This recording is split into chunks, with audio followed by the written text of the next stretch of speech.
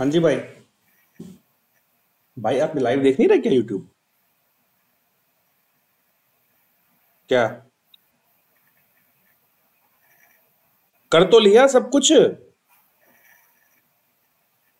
क्या चाहिए इनको। भाई सब रेडी है और मेरे को सिर्फ़ फेड करके वो फेंकना है वहाँ पे बस और कुछ नहीं करना है। सब आप एक बार यूट्यूब चेक करके मुझे कॉल करो।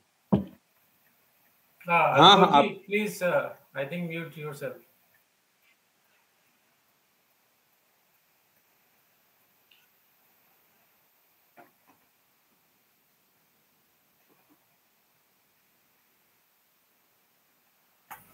Namaskar, madam. Namaskar, Professor Nalji. Namaskar.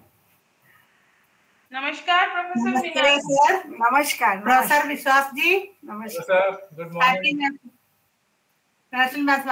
जी नमस्कार हिमाद्री जी नमस्कार नमस्कार नमस्कार good morning Pinal. Good morning. Everybody. Good morning. Good morning. You were not visible. I'm so sorry. no, it's okay. My camera is off. I know. I know. I know. Good morning professor Meenal good morning Bhaskar जी हाँ, sir ने join good morning colleagues good morning नमस्कार Sujata madam हाँ मेरे number congratulations for this day to you and discipline नहीं you are all part of this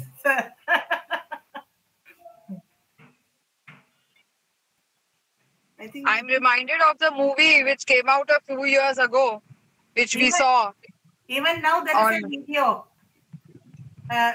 Okay. I'll just Okay. Okay. A lot of my learning came from that movie. I mean, we know Yeah, broadly, yeah, yeah. but we yeah. didn't know the details. Yeah. सभी को नमस्कार नमस्कार नमस्कार नमस्ते। आशीष जी नमस्कार इसने join कर लिया है मुझे लग रहा है वीसीओ वीसी ऑफ़िस 네,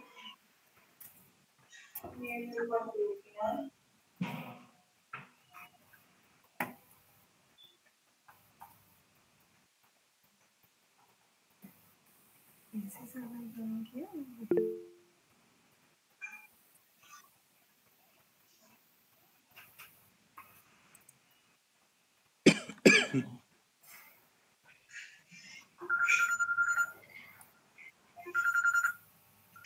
हो पवन? नमस्कार मैम। हाँ नमस्कार नमस्कार राजेश जी नमस्कार नमस्कार। अच्छा ठीक है।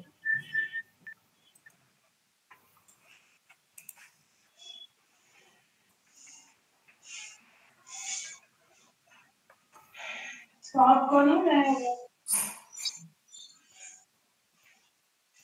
जस्ट टेन ओ क्लॉक का भी कितना टाइम बाकी नमस्कार प्रोफेसर भास्कर जी। नमस्कार मैडम कैसे हैं आप? बस चल रहा है ऊपर वाले की कृपा। उसी की कृपा होनी चाहिए। जी, जी, जी, जी। और कौशल जी मॉर्निंग राजेश जी मॉर्निंग नमस्कार सर गुड जी, मॉर्निंग नमस्कार राजेश जी नमस्कार। नमस्कार मैडम। वीसी सर है आप ज्वाइन कर दीजिए प्लीज़ या या या थोड़ा कवर कर दीजिए हमारे डीसी सर ज्वाइन सर तो हम ओपन कर देंगे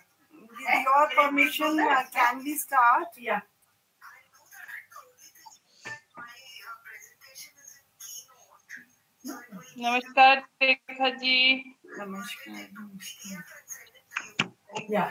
good morning madam good morning Rekha madam how are you मतलब नमस्ते भास्कर जी सही है? थोड़ा सा कैमरा में इशू हो रहा है। अभी ठीक कर रहे हैं हो जाएगा। Already sir sir sir sir has has with your kind permission can we start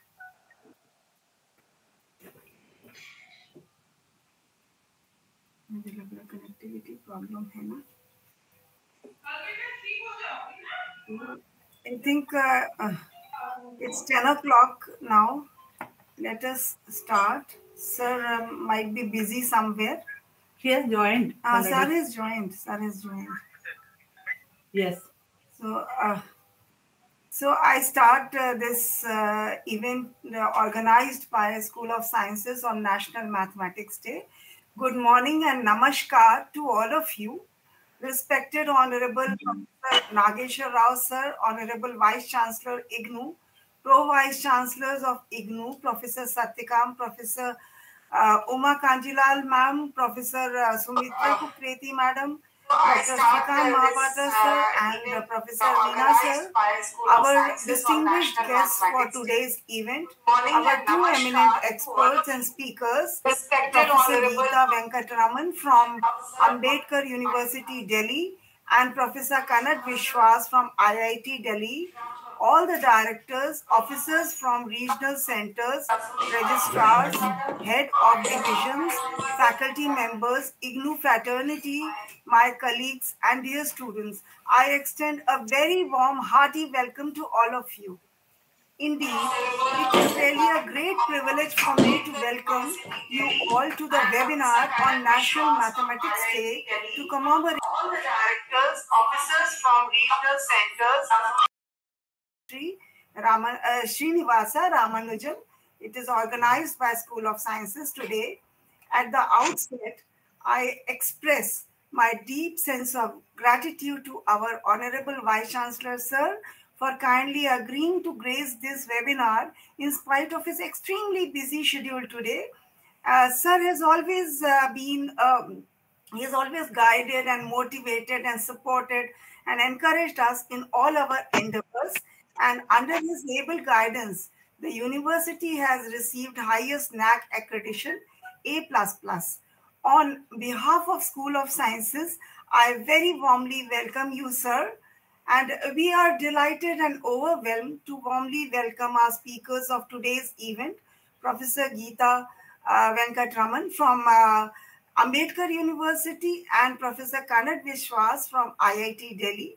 Thank you so much for kindly agreeing to have consented uh, to share your vast knowledge and experience with us today in spite of your other en- engagements on very interesting topics redefining role of mathematics in context of NEP 2020 and the mathematics of machine learning and deep learning.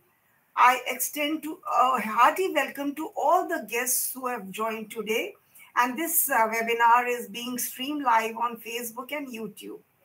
A little about the school.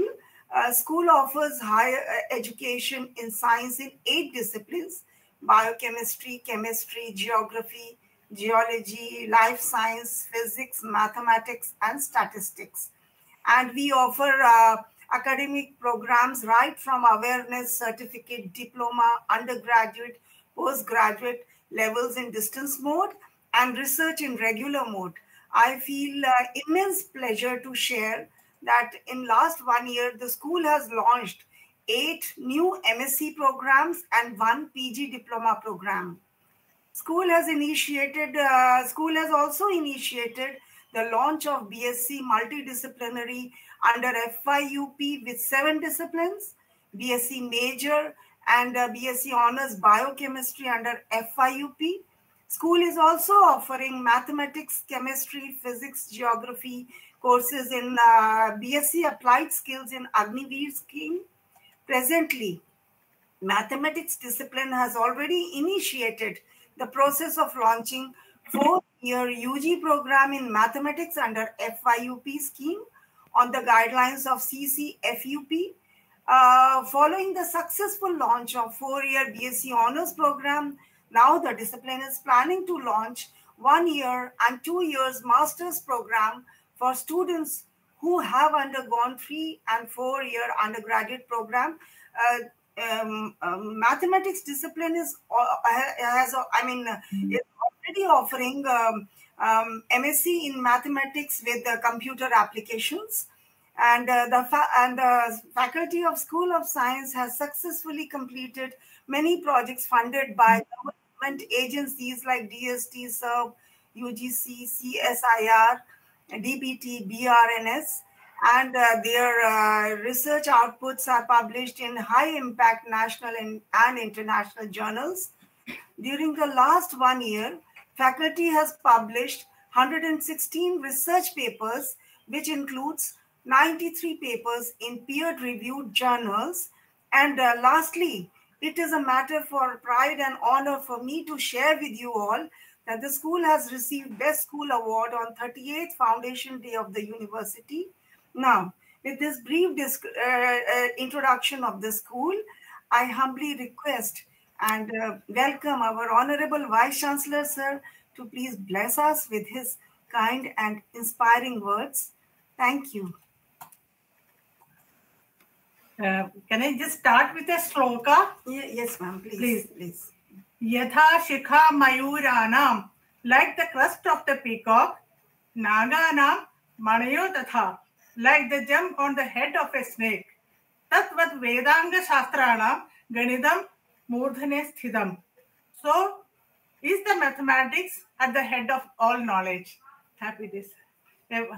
Welcome all and our honorable chancellor, all the distinguished guests, our experts, faculties, colleagues, and friends. Happy day. National Mathematics Day, sir. I humbly request Honorable Vice Chancellor, sir, to please bless us with his kind words. VC, sir, please.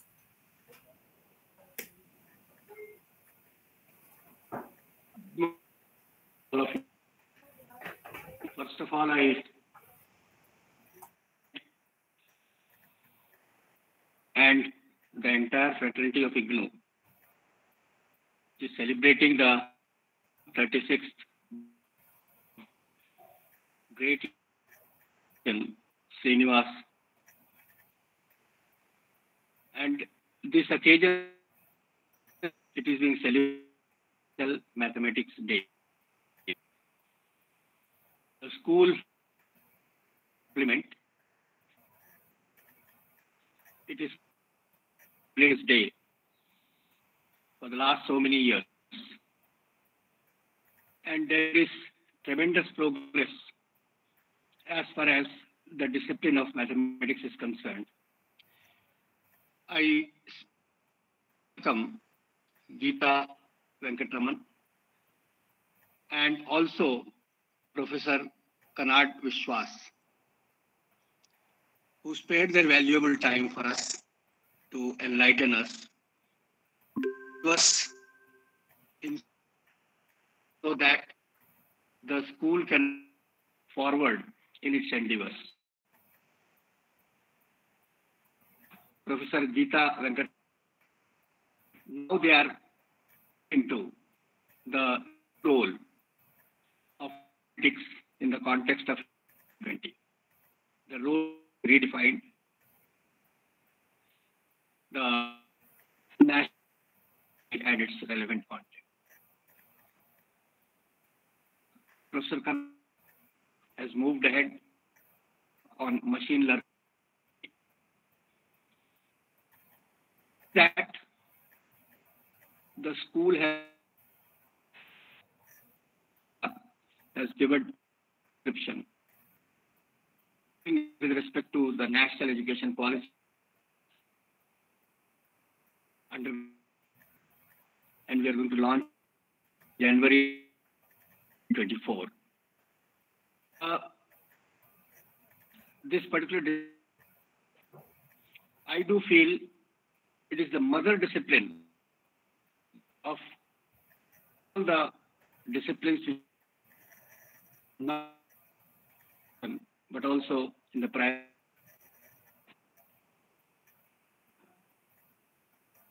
Good. Uh, the paper of mathematics, we all are study. And even when we have to appear in a and in a selection, everywhere the importance of mathematics. Even the or the computer science, the they want to move ahead. The mathematics is an important discipline which needs to be understood. And that is why we see that theorem in 10 plus 2 with mathematics. And that is why it signifies how mathematics, especially the contribution of Srinivasanji. And we find that charted the path encompassing the entire education system. It also shows that even in the light of national education policy, you see that has lots of changes. Respect secondary education, teach mathematics. And where in the we have the tables, the numbers, use the number that becomes very, very prominent even from the basic disciplines of their mind math. So that signifies relevance and importance. And talking about education system, ability, there also this particular discipline, it helps us to how the input to strengthen our knowledge. Uh, we know that the mathematics, along with the School of Sciences, they are coming up in a big way. And during the last one year, they could have the eight PG programs in the School of Sciences. They are working hard. And as Meenalji has rightly pointed out recently, on the eve of Foundation Day, this particular school awarded the best in terms of activities we have carried one year. Proud we are all proud of learning process, but also in terms of contribution. We know that the basic the science not an easy task. That is why exert a lot. That how a distant learner reading the material, material is being self-learning mode. self-instructional material. The foresight, uh, visualization of a learner. And here we see they are distinct learners, advanced learners. In an university where we see the convention, there we very individual student deciding factor for the eligibility. Therefore, the variations in terms of capability are the least. But if we have course of the country, globe, that the capability and their assimilate difficult, not an easy task. And, and to distance that means this faculty this specially deserves for to cause of the two things for faculty there is them there exists yes. And with that they can also see those study materials can be made much more the learners be much more employable.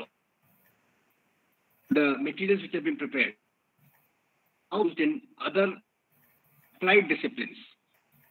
Here find course contents the delivery of the that breaking the thematic state. Feel remembering the who about the method. Know that we are Vedic mathematics. have to see that analysis also help us to build the base in higher education. Uh, even the school and also welcome our who will be present uh, work viewpoints uh, lecture get from them that will definitely be used curriculum design curriculum develop in the curriculum this and undergraduate and postgraduate uh, school of sciences thank you very much Uh, thank you, sir, for your uh, kind words and to enlighten us. So I welcome all you once again on this National Mathematics Day. As we all know that Ramanujan was a great mathematician. Uh, unfortunately, he died very uh, early in the age of 32 years. But in that very short span of time, he contributed a lot to mathematics. People are still trying to understand his work, and major research is going on uh, his contributions because uh, the way he thought was quite uh, extraordinary, but uh, not uh, the modern day approach. In modern day, we think rigorously, logically, but his approach was quite distinct, and people are still trying to understand, uh, trying to prove many of his unproved theorems. So on this day, uh, we are remembering national that great mathematician Ramanujan, and in this context, our theme is for uh, today's uh, celebration mathematics and its relevance for society and industry.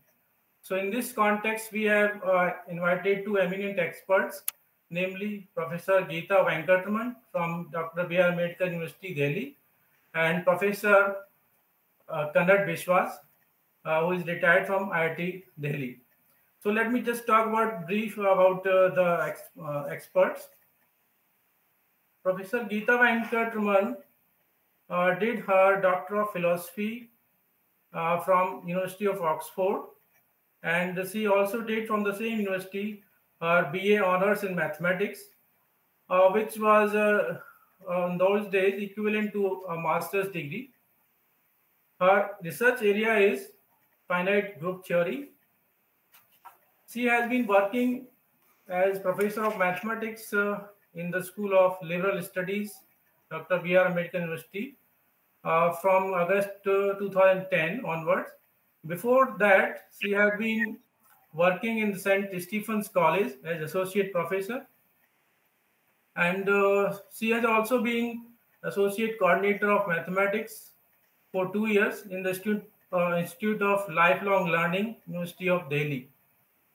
Her research publications uh, are quite, uh, has, she has uh, published a great number of uh, articles in different reputed journals she has delivered uh, delivered uh, more than 40 talks on different topics in conferences and uh, seminars.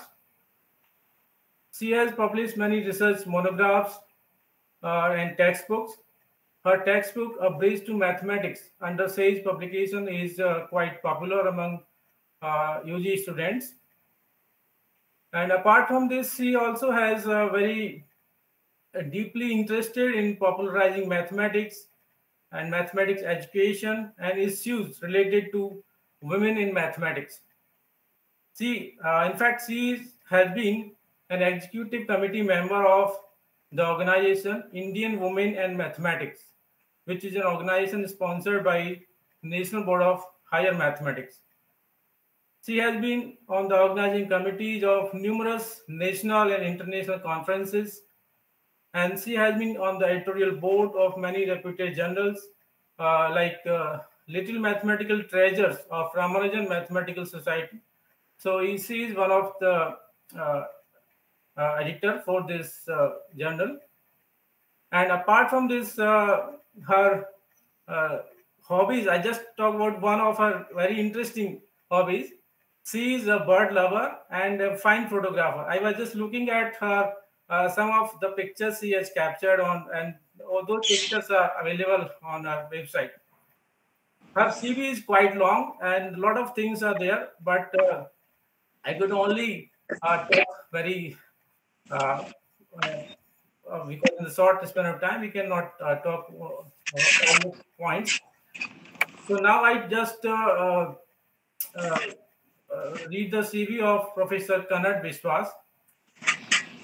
Uh, Professor Kanad Biswas did his BTech in electrical engineering from IIT Madras in 1968. And then he did MTech in control systems and PhD in signal estimation from IIT Delhi in 1974. After a brief stint at University of Roorkee, he joined electronics engineering department of IIT Delhi. And later shifted to the Department of Computer Science and Engineering of the same college. So in IIT Delhi, he has a long career, more than 40 years. After retiring from IIT Delhi, he has been uh, associated with uh, Triple IT Delhi for a year. And after that, he also is associated to the Bennett University of Times Group at Greater Noida he has been a visiting professor at the University of Auckland, New Zealand, and at the University of Central Florida, USA. He has also acted at, uh, as UNESCO expert for development of curriculum at University of Nigeria. He has been collaborating with University of Oxford and University of Texas at Austin on various research projects in the areas of uh, robotics, artificial intelligence, graphical simulation, and many other. He has been on an active researcher with more than 20 PhD students under his guidance and more than 100 publications in reputed journals and international uh, conferences. His current research uh, interests are image and video processing, deep learning with applications in human activity recognition, and disease identification of agricultural crops. So welcome you, sir, to this uh, uh, national uh, webinar. So I, I once again welcome both the experts and all the IGNOU fraternity uh, on this National Mathematics Day. So now it is uh, Professor Geeta Venkatraman. She will uh, talk about redefining the role of mathematics in the context of NEP 2020. Uh, Professor Geeta Venkatraman. Uh, thank you, Dr. Pawan Kumar, for such a generous introduction. Uh, is it all right for me to share my uh, presentation now? Yes, yes, yes please.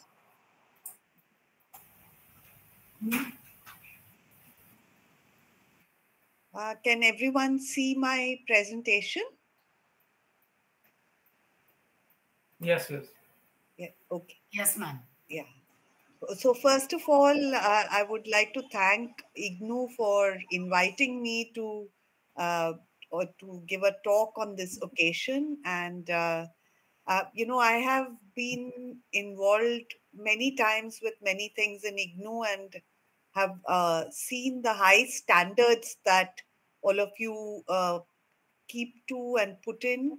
Uh, particularly, I, I have uh, memories of moderating mathematics uh, papers sometimes, and uh, the meticulousness with which the questions were looked at, and you know there were these grids which we had to um, ensure that they fell in and uh, we were not uh, you know the questions were uh, of the sort where the candidate had to think and uh,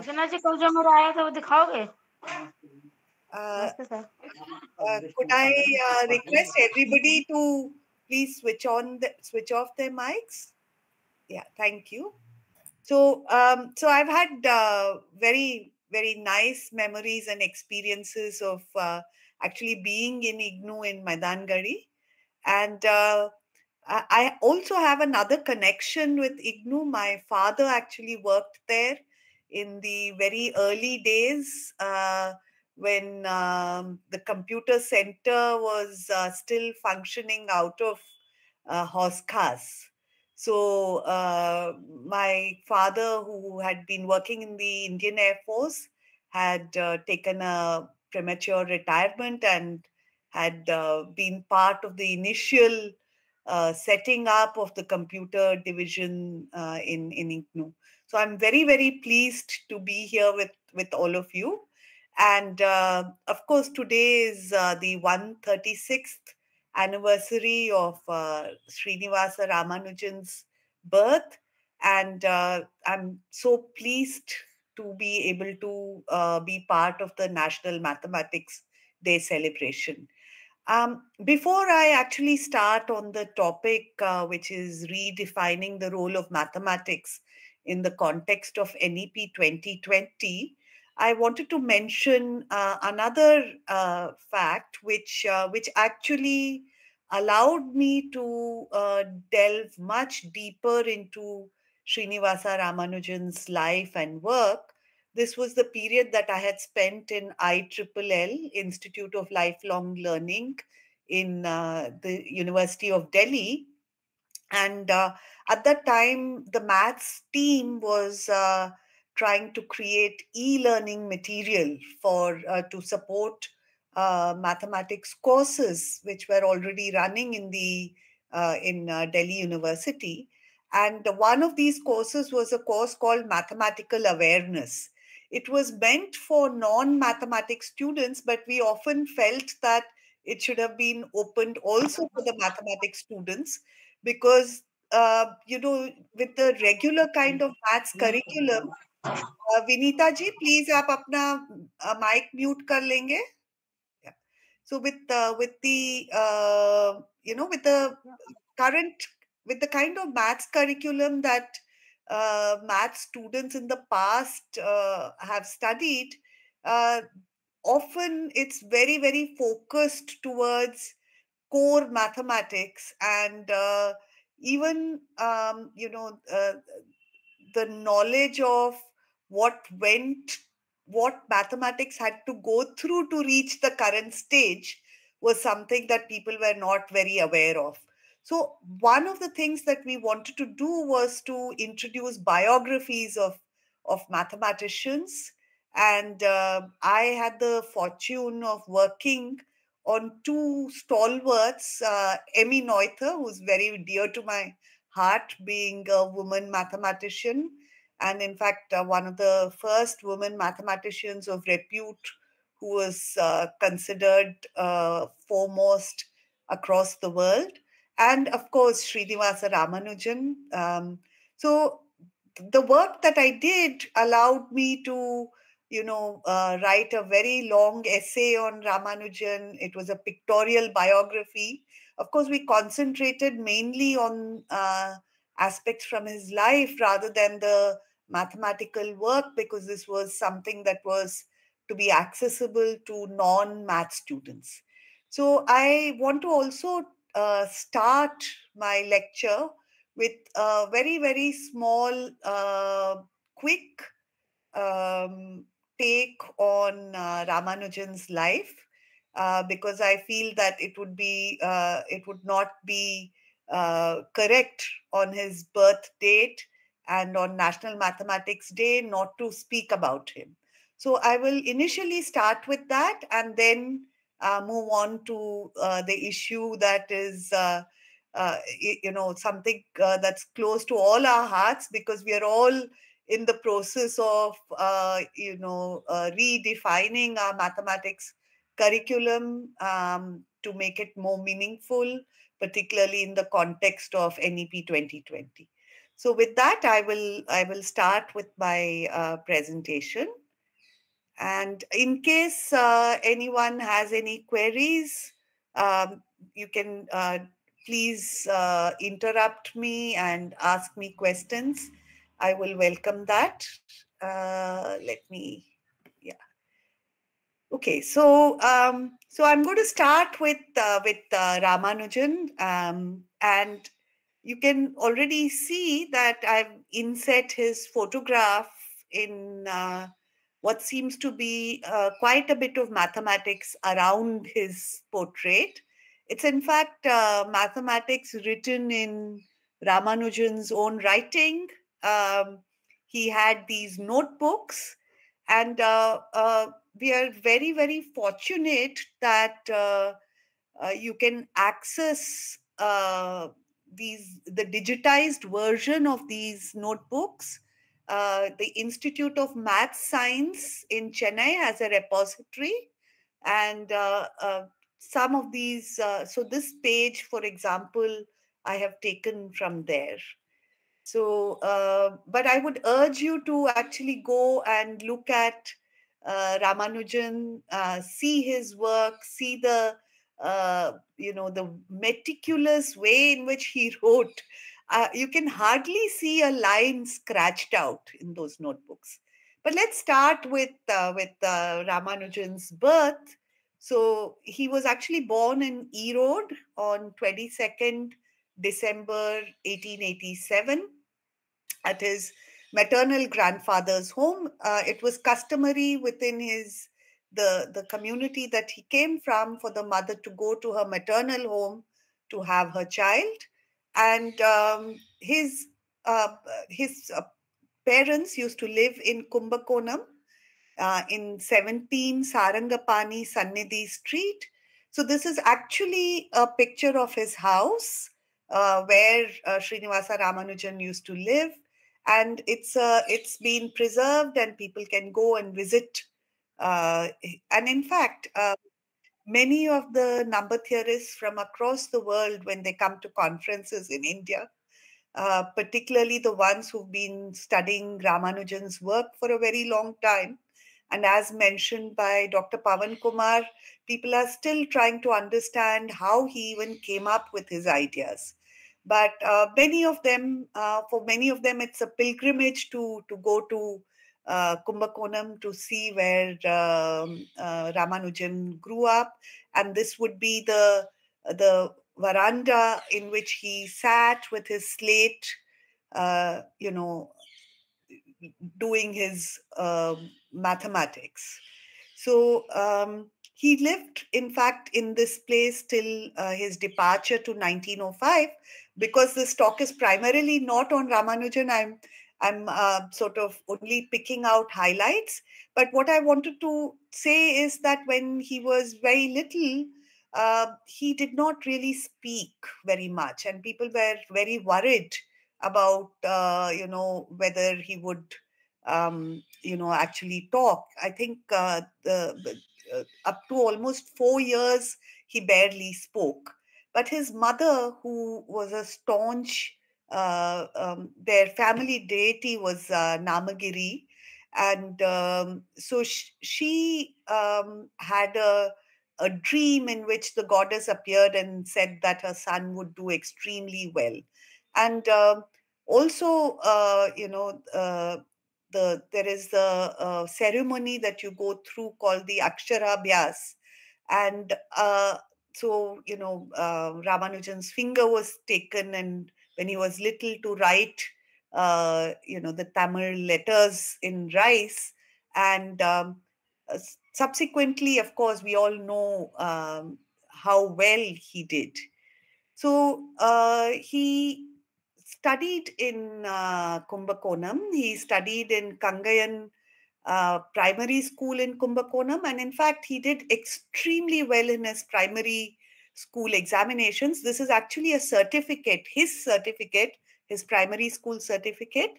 He stood first in the district, and the examinations in the primary school um, were in uh, the, the subjects were English, Tamil, arithmetic, and geography. And then he joined the town high school where the medium of instruction was English. This is a picture of the high school from a decade or so ago. And he actually did quite well even then. In, in school, he uh, he his school leaving record is excellent, and he um, you know uh, passed with flying colors. But there's something that had happened to him school time which had uh, a lot of consequences. So, um, so there's this uh, book by Carr that he came across. So, in 1903, just before he graduated from Town High School, Ramanujan was given a book titled A Synopsis of Elementary Results in Pure and Applied Mathematics. The book was written by George Shoebridge Carr, and this book consisted of 6,165 theorems. And uh, topics like algebra, trigonometry, calculus, and analytic geometry were amongst other topics which were covered by these theorems. Uh, Carr published this two volume set in 1880 and 1886, respectively, as a coaching manual primarily for students who were doing the tripos examination at the University of Cambridge. So this was something, uh, the book itself had n- almost no mathematical proofs, but the results were laid out in a logical sequence so that, you know, if you kept solving the results as they appeared, you could use one to solve the next and so on. So here's a picture of the of the of a page from the book, and you can see that they're just numbered and they're just results. And this would have a sort of profound influence on Ramanujan. For him, it was like you know um, being let loose into a candy store. Uh, he was let loose into a, a book which had so much of maths which could be which he could think about and uh, convince himself that these results were true. But this was the style that Ramanujan ended up adopting when he himself recorded results in his notebook. So, um, as I said, he did extremely well in school, and then he went on to uh, join college in Chennai.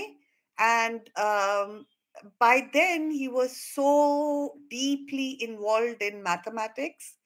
Um, it was almost like uh, you know uh, in the in the past uh, ages past we hear of rishis who went and meditated in the hills till ant hills covered him them So Ramanujan, uh, I think, meditated mathematics, and he was really not bothered about anything else, and uh, and that's uh, something that you can survive when you when you come to college. And I and at at some level, um, our system um, even now will not encourage someone like Ramanujan because we do Ramanujan though was a genius.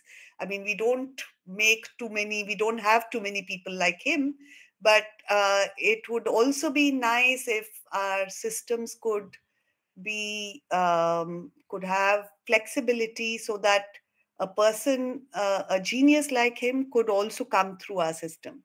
However, I mean, with Ramanujan, everybody knows that he he uh, did not manage to uh, finish his degree. He he was just so busily involved with his mathematics, and he then tried teaching tuitions.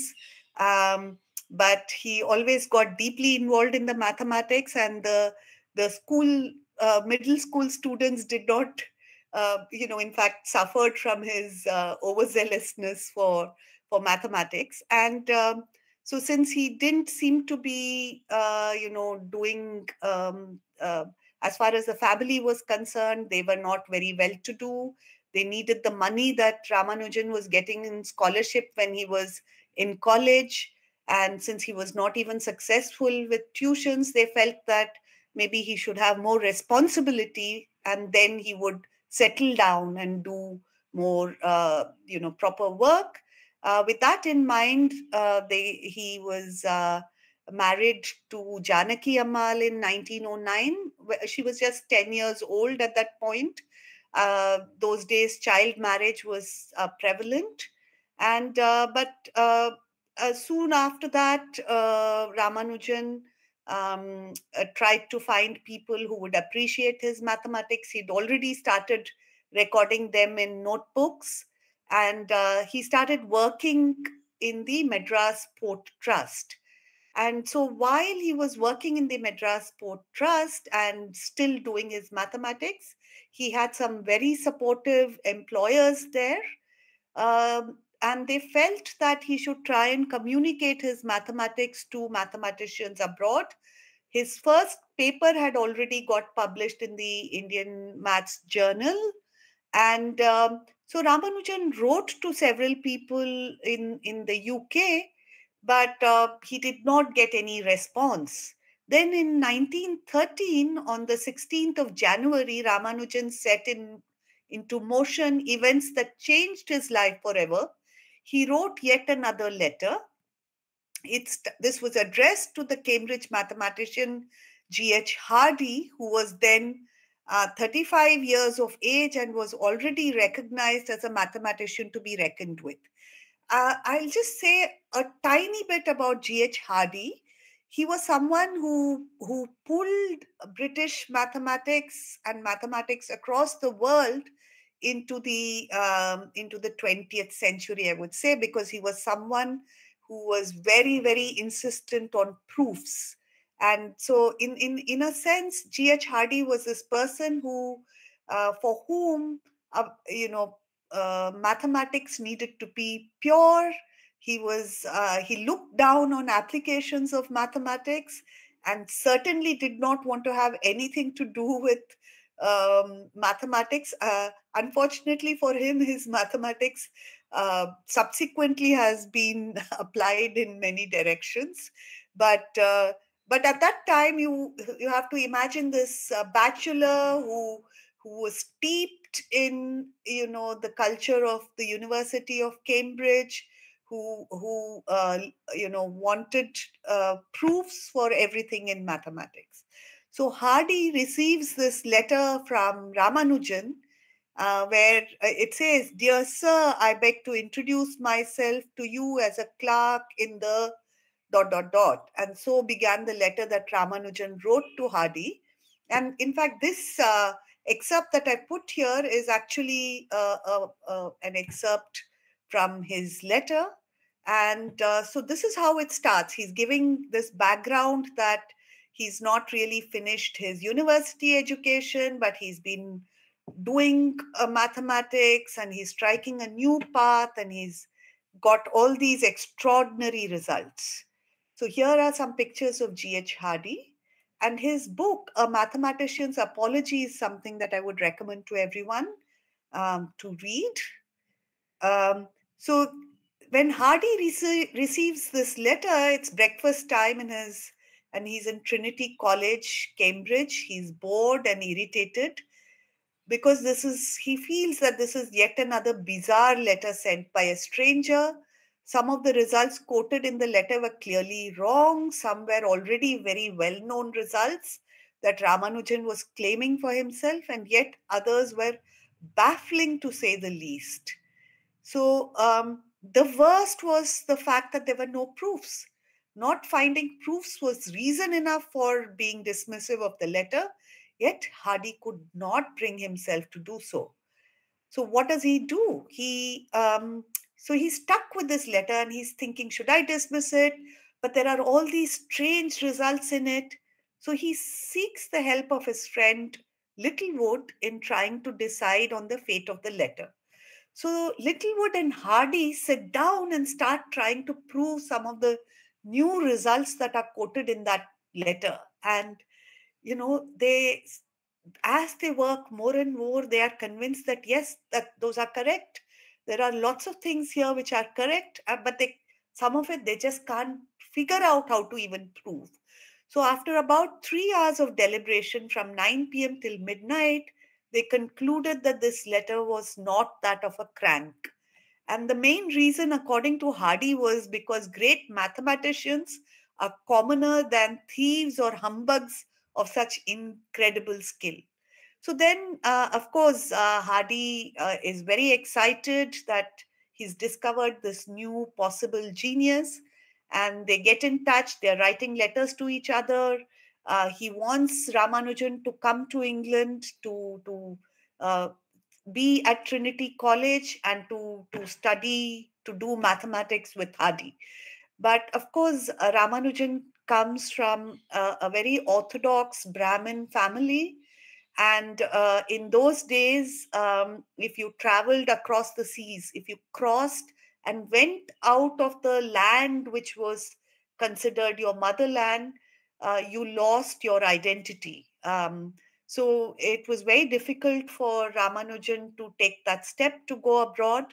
Um, uh, but eventually, um, again, um, he meditates at the at the local at the at the place the shrine of the family deity. And um, and there is a dream that he gets uh, where the deity is asking him to proceed to to uh, to England, and uh, so in 1914 uh, in April, so this is uh, a little over a year since he's made contact with uh, with Hardy. He reaches he's formally a study for a BA degree by research at Trinity College, Cambridge.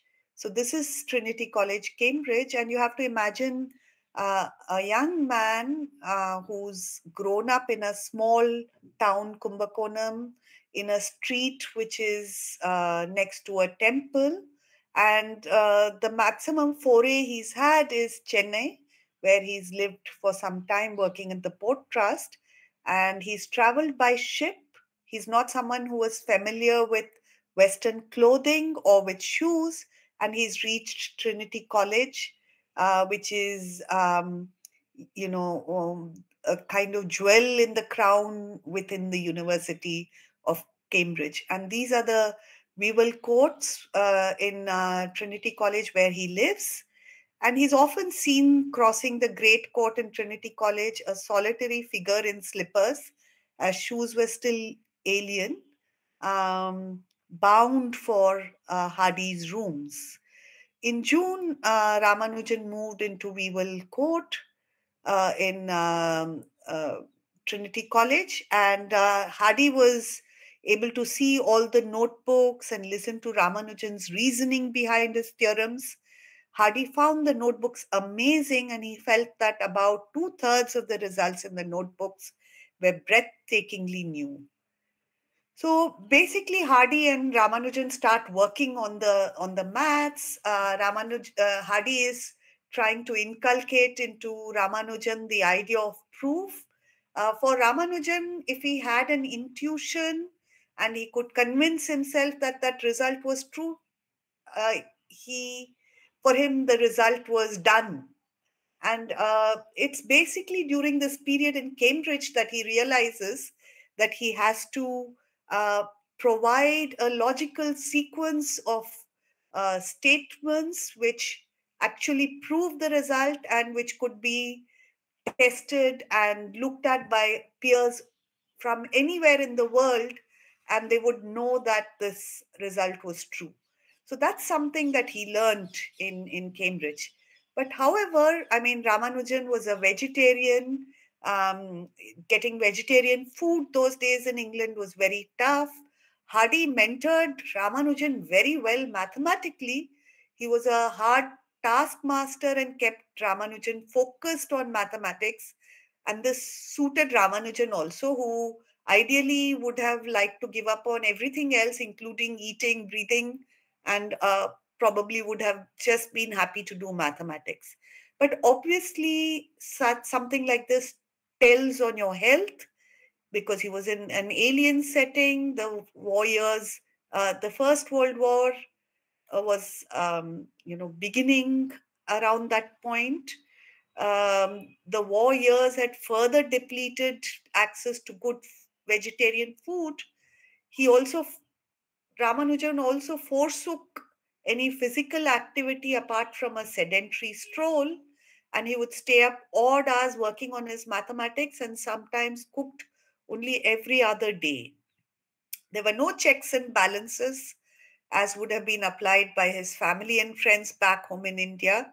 And the result was that he fell very, very ill. Um, the, so by 1917, Ramanujan, so this is within a three year period of being in England, he had fallen ill and was being treated for tuberculosis at a sanatorium in England. He was also quite, um, you know, down and out because of his health, the fact that he was not close to his family, and this was really a, a quite a bad period for him. But then he hears about the fact that he uh, had got elected to a fellowship at Trinity College and and also the Royal Society, and it brought back some cheer into his life. Um, and he had uh, moved from Matlock to a hospital in central London by then. However, the Great War uh, ended in November 1918, and Hardy felt that Ramanujan should at least temporarily return to India so that he could uh, be nursed back to health. So Ramanujan leaves for India and uh, reaches India on 27th of March 1919 but he was not the same man who left for England a few years ago.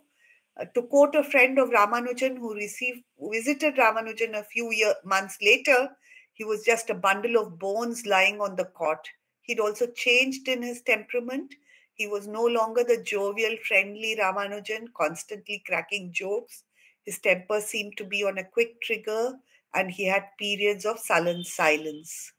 The silver lining was that he found some joy in his relationship with his wife Janaki. She was now 18 and no longer the child he had married. She nursed him through his deteriorating health. Um, his mathematical work, however, continued unabated.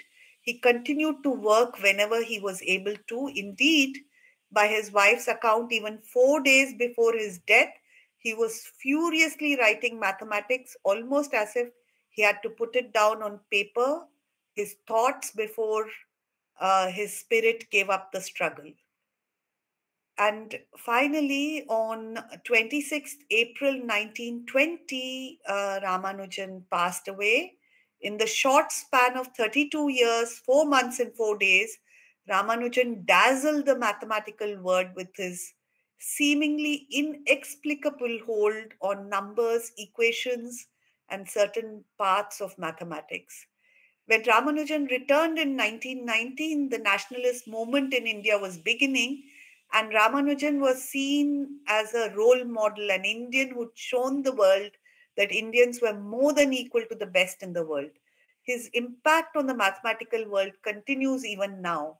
So there are, um, as uh, Dr. Pankaj said, there are people, mathematicians who are still working on uh, the results which have been mentioned in his notebook for which uh, the proofs were not there. They're working on the proofs. People are also working on trying to figure out how he might have thought about these ideas. So in maths, often you're looking, you're, you know, you're recognizing patterns, you're intuitively getting a feel for the mathematics in that area.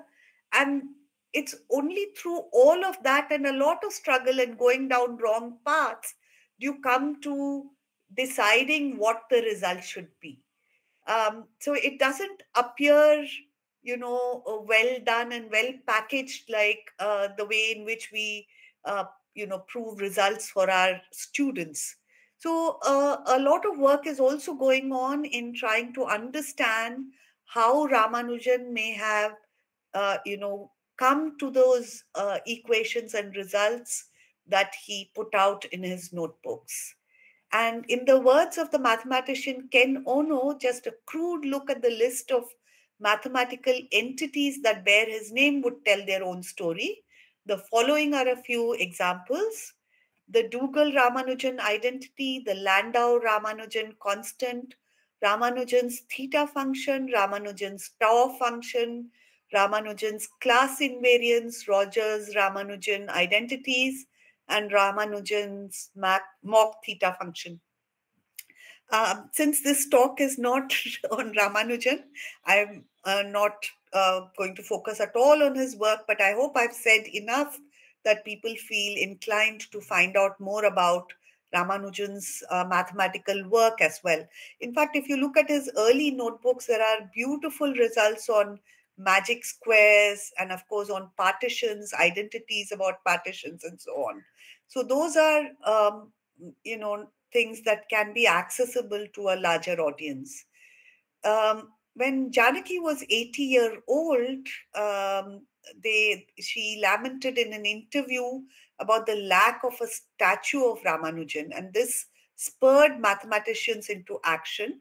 62 years after Ramanujan's death, mathematicians from all over the world under the initiative of the mathematician Richard Askey. Askey, in particular, has often written about you know what could have led to Ra- the, the insight with which Ramanujan probably came to a particular result, whether it was on continued fractions or other identities. So Richard Askey collected money to commission several busts of Ramanujan from the sculptor Paul Granlund. Amongst those who contributed was the Nobel Prize winner and physicist Subrahmanyan Chandrasekhar. He had in fact procured the photo of Ramanujan that is familiar to the world from Janaki several decades earlier. That two dimensional photo, it was a photo taken for the passport, was uh, the basis for the bust that Granlund made. One bust was presented to Janaki and had the pride of place on a pedestal in Janaki's simple home in Chennai. And Janaki Ammal herself died on 13th April 1994 at the age of 94. And this is a bust of Ramanujan that was made by Paul Granlund. So with this, I um, have I hope I've given you a glimpse of this marvelous genius who did such wonderful mathematics that even now when um, there are new parts of modern mathematics that are being done suddenly people realize that oh this has connection with something that ramanujan did um, ages ago, and that if you generalized something that he did, this is what you would get. So his his mathematics is extremely relevant even today for all of us, and I hope that he is an inspiration to all of us from India for uh, for the next several decades and more. So with this, I will move on to uh, looking at mathematics in the context of NEP how do we do we have to redefine the way in which we teach and learn mathematics? Um, is it just a small rejig or do we really need to have a different kind of insight or a view of how mathematics should be taught?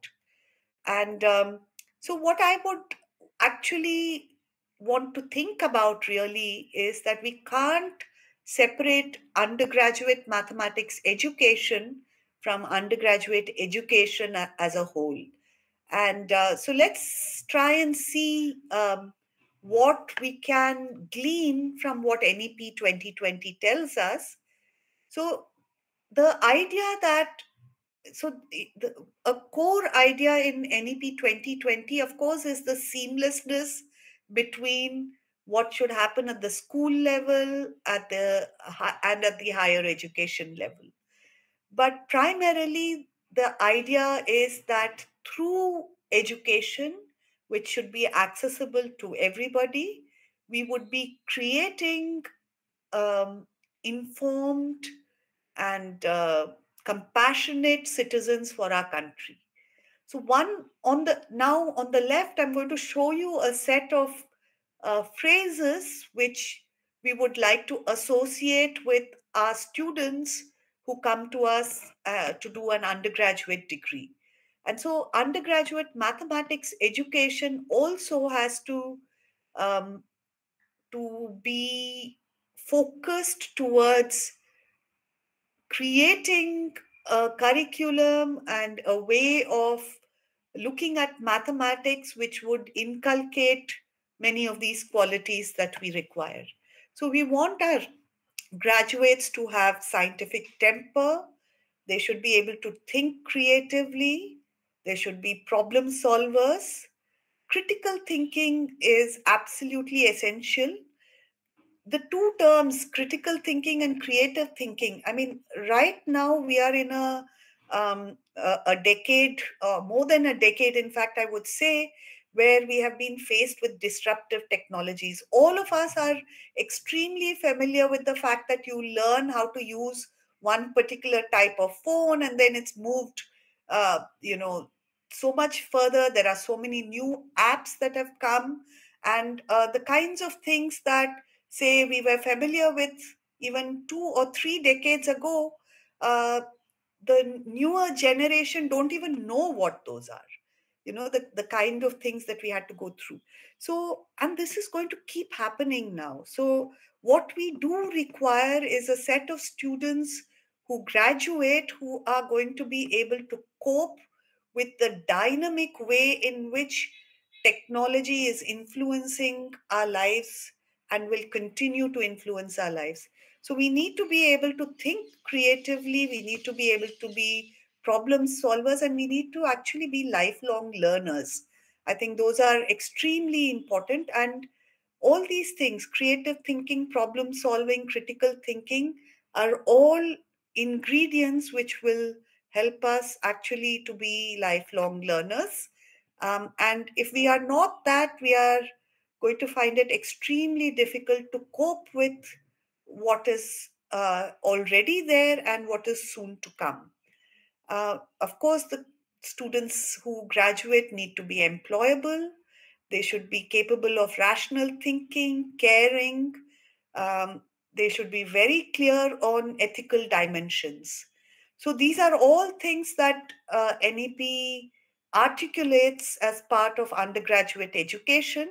And so, undergraduate mathematics education also has to um, have a, a a set of things which could help students gain or gain training as far as possible in all of these things. So, what should be there as part of undergraduate mathematics education? And of course, we cannot, the, the, one of the core things that undergraduate mathematics education has to do is also to produce mathematicians. Because if we do not have that loop continuing, then uh, we can say goodbye to mathematics completely. So um, we do need to have a curriculum which is also going to produce mathematicians. At its core, therefore, there has to be mathematics, but we need all of these other things which are also mentioned in NEP 2020 uh, our curriculum needs to be multidisciplinary. There has to be flexibility. Uh, students have to learn about ethics. There has to be a holistic education which not only looks at the uh, intellectual dimension but also uh, a physical and spiritual dimension. Um, you know, uh, we got our independence in 1947 and our constitution in 1950 and many of us are unfamiliar with the rights that uh, the, our constitution confers on us.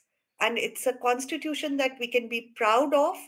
And it's really important that i think the current generation is also familiar with what the indian constitution is about human values pride in india rootedness uh, you know one of the things that has always occurred to me i was someone when i did mathematics I did not want to do anything other than mathematics. I, I would have, in, in that sense, I would have been uh, somewhat happy to follow in uh, Ramanujan's footsteps, uh, not at the level of his genius, but in terms of, you know, wanting to do only mathematics. But when you come back, and even if you have a career in mathematics, you realize that uh, you need to know so much more, particularly if you've done administration.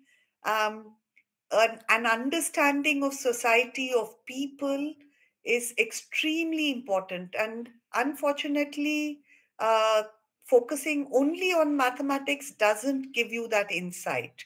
So, uh, the, the idea is that the curriculum um, should expose students to also ideas from arts and humanities and of course technology no one can um, survive in the modern world now without uh, having uh, not just access to technology but also uh, learning on how to handle it and to be able to learn new and more and more newer technologies. And of course skills. Um, you know we would expect that all our students have uh, access to being able to interpret and uh, uh, analyze data. They need to have computational literacy. Um, and also skills which may be practical.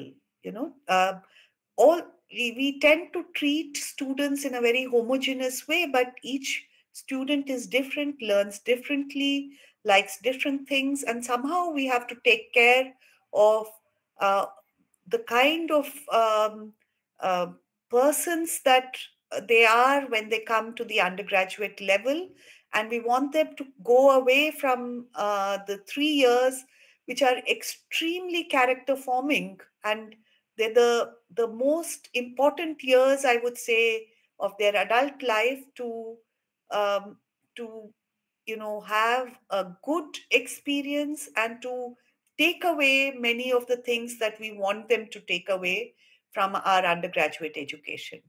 Um, I always feel that undergraduate education is the key to so many things. Uh, it's the it's the key way in which we create our informed or we we create uh, an environment which can produce informed citizens. And most importantly our school teachers come from there. Um, so i in I would want the undergraduate experience in particular for every single student to be one where they have access, there's equity, they can get quality education out of it because our society as a whole uh, depends on the kinds of students that we graduate from our undergraduate program. But how have we been looking at mathematics uh, curriculum in the past? So, how did we approach it in the past? So, let's take a look at, I mean, this is my view, but I'm sure many of you would agree with this. So, let's look at what we did with school mathematics. We had uh, mathematics largely compulsory till the 10th grade. In the 11th and 12th grade, mathematics becomes an optional subject um, the math syllabus in the 11th and 12th grade needs to serve several needs, several disciplines. So, the kind of mathematics that is put into the 11th and 12th standard course is uh, uh, the kind of mathematics which is needed as a base for many different directions. On the other side, when you look at university mathematics, it's largely been focused on creating mathematicians. So, what do you need to create mathematicians? You need a PhD in mathematics. So, the master's degree in mathematics, the syllabus in the master's degree in mathematics has been uh, determined by what is needed for um, students who graduate from the master's in mathematics to go towards a PhD in mathematics. So you can see uh, these two, uh, uh, you can think of it as two uh, shores of a river. On the one side is what students have learned in their 11th, 12th standard, and on the other side is the kind of syllabus that you need in masters in mathematics. And so what does what happened to undergraduate mathematics was that it just became a I wouldn't even say a bridge. It just became this large cauldron into which you we threw in everything that a student who hadn't who needed to do a master's in maths had to learn, you know, after doing maths at the school level. So the result really is that the syllabus for undergraduate mathematics became a gap filler between what somebody did in the 12th grade and what someone would do in the masters. So we did not really think of undergraduate mathematics education as part or holistically in terms of undergraduate education. And I think that uh, is a fault which um, is something that uh, was probably good for those students who really enjoyed mathematics uh, when they came to do mathematics at the university level and wanted to continue with mathematics at the higher level. But in general, less than 25% of the undergraduate students continue studying mathematics at a higher level. Even smaller percentage will go on to uh, do a phd in mathematics and even a smaller percentage of that will continue to uh, become uh, to choose mathematics as a career and become mathematicians. So so you can see the kind of injustice that we were doing to uh, by creating a curriculum which was primarily designed only to create mathematicians. Uh, the 75% or more of the students who came in at the undergraduate level to do a, a, a degree in mathematics, uh, a sort of terminal degree in mathematics, went away uh, not necessarily experiencing the best that mathematics could offer. So, um, how can we create an undergraduate mathematics curriculum that is meaningful to all? You know, you need to create citizens for the modern world. We need to have mathematicians. And most importantly, we need to have very good school teachers. So, how do we create a curriculum which is going to be meaningful in all these ways? And that's where the I would see these as key steps of course, we need to have core and compulsory mathematics, but because we have all these other things that we wish our students to be exposed to, you would have compulsory courses providing a breadth in terms of language, knowledge about environment, social engagement, communication skills, vocational skills, a knowledge of constitution, data modeling, computational skills. I mean, see, the, there are the, the problem is the balance that we need, but it's also extremely important that we do have a certain exposure that we give the students at the university level. We can't just say that, you know, these are things that they've done in school. They need to experience these as adults and otherwise we are not going to create a person who is well equipped to be a citizen in the current decade. Um, there has to be flexibility and choice. See those who so if you've done your core and compulsory bit of mathematics that everybody who does an undergraduate degree in maths uh, does and then you have these other courses which are your foundational courses they're skill enhancing and and so on um, you will still have more than a third of your curriculum available. And that is where we really need to focus to allow those who want to continue with mathematics to have the flexibility and choice to choose higher level maths courses which would prepare them for a master's program or to move after a four year undergraduate program into a, a PhD program directly. But along with it, you need to have also a large amount of choice so that students who do not wish to continue with mathematics but feel attracted to so many different directions that they could go into, they also should have the choice to choose electives from other disciplines, from other areas, so that they can um, ultimately head towards uh, their interests, which will then allow them to make career choices which are going to keep them happy through their life. So, this is what we have to keep in mind while we uh, create our curriculum. And the whole idea now is that education has to be accessible it anywhere anytime anyhow is something that uh, is is it's already beginning but it has come with the ability to uh, you know maybe uh, uh, leave after a year but come back at some point of time later in your life and to be able to complete your program. So this is it has to be our curriculum has to be learner centric there has to be continuous assessment formative and summative. And uh, we need to look at supportive technologies to to do all of this. And um, oh, sorry i think this has come back again. So what are our key issues and challenges? Because uh, we have a tendency to have something theoretical and very nice on paper but when it comes to implementation uh, we are we neither have the resources nor the infrastructure nor the trained faculty. I suppose at one level syllabus design is something that we can focus quite easily on. But again that is also theoretical if we don't have the wherewithal to implement it.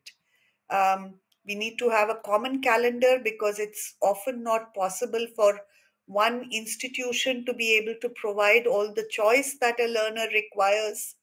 And in handling the kind of quantities that we have in india uh, quality often becomes uh, um, gets lost. So i i can't i mean ultimately uh, it's a question of how the implementation happens but we have to these are all the key issues and challenges that we will have to uh, contend with when we try to implement uh, these changes in our syllabus and to kind of redefine mathematics. But as mathematicians, we are problem solvers, and now we have a very interesting and complex set of issues to deal with and solve dynamically. Uh, this is something that we have to remember that we will constantly have to fine tune what we find as a solution today uh, may itself become a problem tomorrow.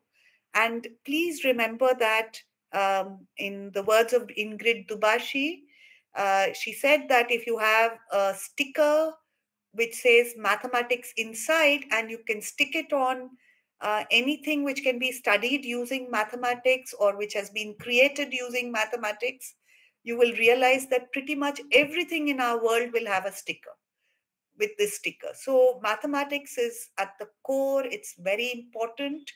And we as mathematicians really need to uh, create a very meaningful curriculum for all the students who come to do mathematics so that they go away, uh, you know, having had a wonderful set of experiences.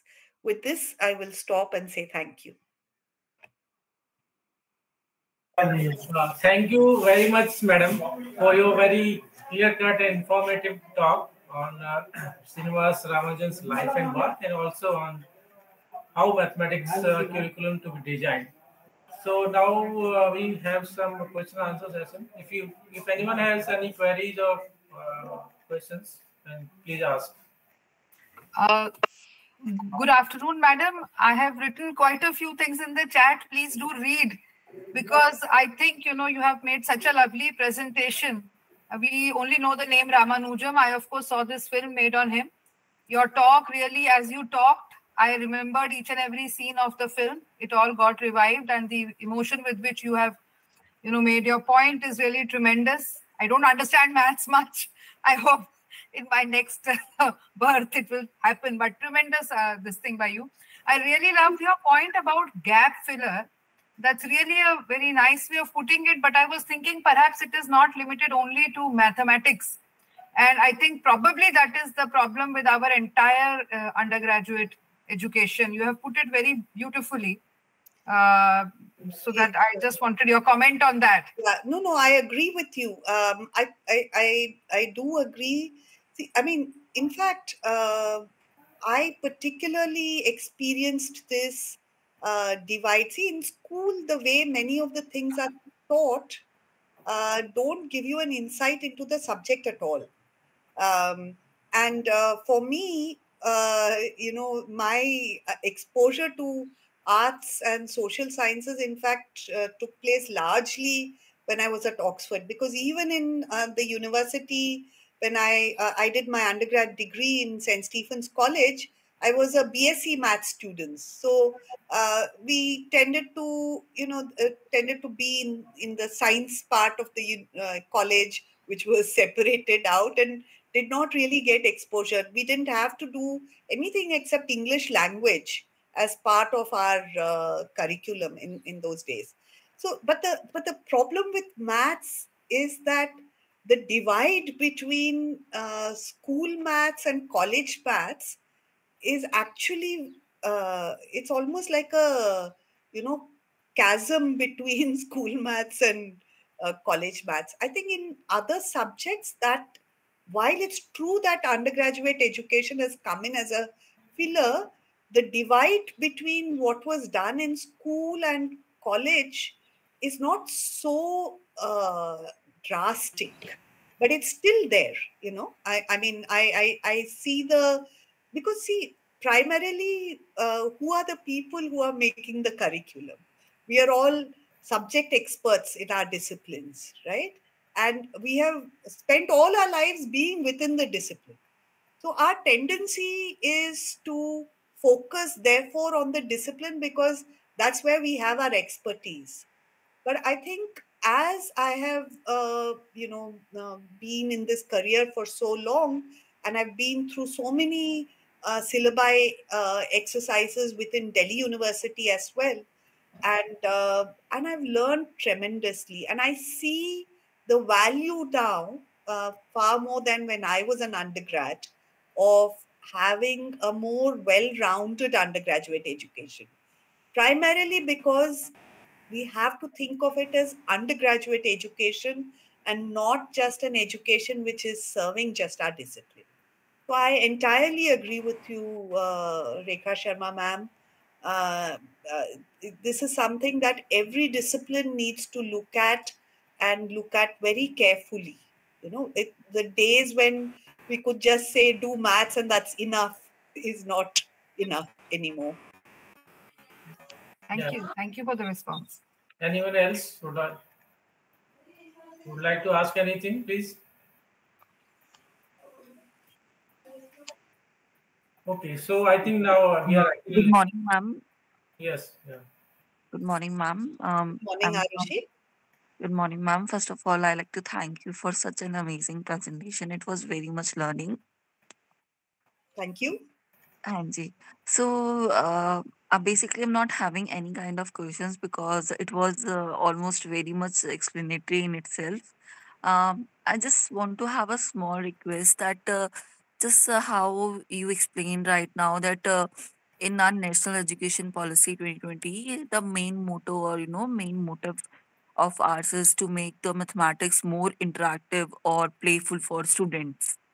Correct. So, uh, can you suggest some ways or can you help with that? Ki, uh, how we can make that more interactive or more playful for the student, for Yeah. school students especially? absolutely absolutely i mean in fact if you if you look at uh, this is again something that i have thought about for a while if you talk to primary school children right little children first standard second standard children no one will tell they will not say they hate maths they, they, you may ask them what their favorite subject is and they will say they'll come up with all kinds of subjects and they really will not say you know i dislike maths or hate maths. But the same thing after middle school just ask children. Uh, they, there is a deep feeling of fear towards mathematics that ends up getting developed and they're very happy to uh, leave mathematics after the 10th grade and even getting through the ninth and 10th grade mathematics becomes a huge uh, it, it's it it actually you know there's something called math phobia that often gets uh, developed. And uh, see, so as people who are who love maths and who see the beauty of maths we really do have to improve the experiences of people with mathematics particularly at the middle school level. Um, i think what's been done um, uh, and a lot of work has gone on into this which is uh, you know they've brought in maths labs. So the idea is that you you do maths and you learn maths. Do maths with your hands literally. Do maths by simulating on the computer uh, do maths by being out in the open and seeing how uh, things that you're learning in your school curriculum has a way in which you can look at things around you. In fact, there are experiments being done across the world um, to use the kind of maths that you learn at the school class level and use it to, say, examine government spending, you know. Uh, so there are lots of interesting experiments, experiences that are going in, and I think it we would do very well to bring in all of that. Um, also, there is I know a lot of work going on within math education in India on um, how to bring in everyday learning that students have on the streets, on uh, in local communities, into mainstream curriculum, right? So these are all things which will make the mathematics that they learn less alien to students. Uh, another area which you can really um, spend time on is things like symmetry because not only will it bring symmetry and geometry particularly i think because it allows students to think about mathematics in a much deeper way without creating the fear that mathematics engenders sometimes in them but having said that uh, mathematics is also a discipline which does require you to engage deeply with it. If you don't engage deeply with it, uh, you become um, less fast at doing things. And unfortunately, our learnings go through examination systems. And if you're struggling with your multiplication tables, you're not going to be able to calculate, you know, denominators of fractions. You're not going to be able to manipulate algebraic expressions. And that creates a cascading effect in students. So, apart from getting them to have an intuitive feel about mathematics through different methods, we also have to, uh, we cannot give up on the regular work that needs to be put in, but it needs to become more engaging and more fun for the students to do. I think if we if we do that and if we bring in those changes, and the only way we can bring in changes is by training our teachers. Without that, nothing that we do will be of any use, right? Because at the end of the day, they are the ones who are going to make the maths classroom fun or uh, you know uh, and a good experience. So to all maths teachers please keep this in mind. Uh, don't scare away our children from you know continuing and doing mathematics Yes. i hope that answers your question arushi Yes, ma'am. Yeah. Absolutely, ma'am. Thank you so much. Uh, thank you. Uh, anyone else has to ask something, or we can move to the next speaker? Very good morning, ma'am. Uh, firstly, very uh, your lecture is so enjoyable, and uh, I'm uh, so happy to uh, see all these uh, things and understanding the new things from you. Uh. I have a one question, ma'am. yeah Uh, please the- how to improve the critical thinking in uh, the children's? Uh, because uh, so many children are uh, uh, just uh, uh, focusing on rote learning and giving the exam and get the higher marks. So how to improve the critical thinking uh, in that uh, children's? And uh, how to improve the education uh, indian education system Yeah, so I think uh, Anjali, you hit the nail on the head as far as rote learning is concerned. See, um, I mean, so if you memorize something without understanding it, that's what constitutes rote learning. And uh, but why is it that students do rote learning? They're doing rote learning because our the questions that we ask them in our examinations and in assessments uh, can be answered by rote learning. So I think the fault, the reason why rote learning works is because we have allowed it to work. So one of the most important things, uh, and this is something that I will say, even from my experience at the undergraduate level in, in across so many years, there is a tendency uh, for teachers as well to um, solve to, to have a set of questions to solve those questions and provide the answers to the students and to then say कि exam में इन्हीं में से questions आएंगे you know so so what tends to happen because of that is uh, someone can just learn those answers by rote and do quite well in the examination and uh, on the surface then the teacher has also done well. Because so many students have done extremely well in that examination. So one of the key places where we have to intervene and change is the way in which we examine our students. And i think there the idea of a formative assessment should help in removing rote learning. Because we want to have a system which allows which also goes along with the learner right? To to help them realize where they're going wrong in their thinking and to you know improve that.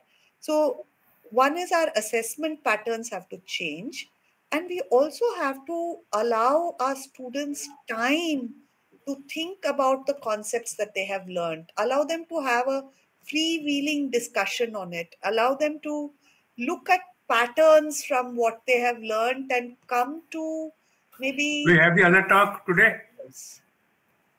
Yeah, yes, sir. Sure, sir. What time you want to start?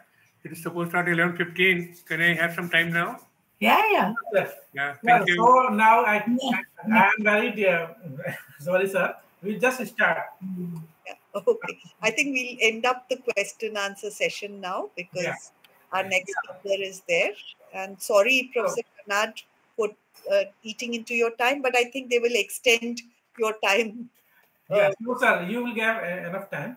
Yeah. So now I invite Professor Kanad Biswas uh, from IIT Delhi uh, on the topic uh, the mathematics of machine learning and deep learning. So please, sir, welcome you.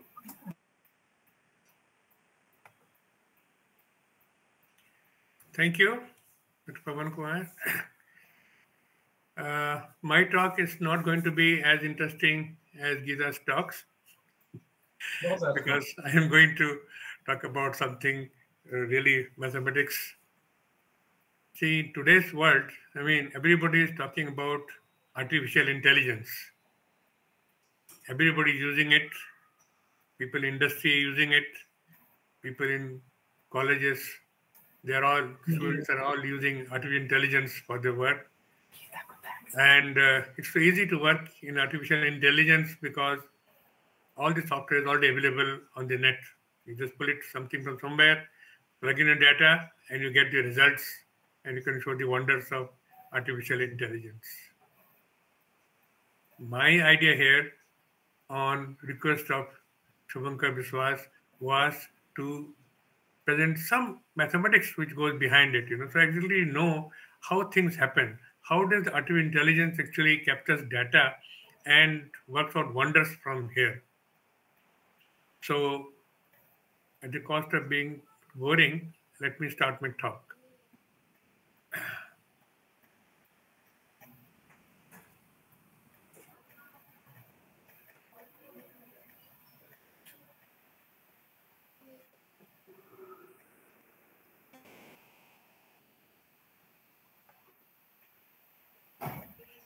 Okay, mathematics for machine learning and deep learning. These are two words that we hear as buzzwords for artificial intelligence.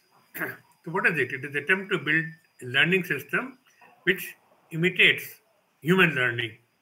So what is human learning? Human brain composed of large number of highly interconnected elements called neurons which work in unison to solve specific problems here. How do you solve the problems? When presented with number of examples. So it's learning from examples actually. So here is one of the neurons here, and you can see that inputs are the dendrites on the left hand side, and the output is the axon through which axon output goes, and what is inside is the processor actually the cell body, and uh, there are such synapses like this about you know 10,000, 100,000 synapses are there in the brain, which keep on working and uh, trying to solve the problems around us. So what is learning? Learning is adjustments to synaptic connections because the inputs is not just direct input coming from other neurons here, but each of these neurons, uh, sorry, inputs are weighted. Depending on how much success they gave in the past, you increase the weight of the inputs. And when the sum of all the inputs going to a particular neuron exceeds a certain threshold, then the neuron discharges and sends a spike through the axon here. It goes to the next neuron in line, and so on. It goes on. Some of the weights may be positive, some may be zero, some may be even negative.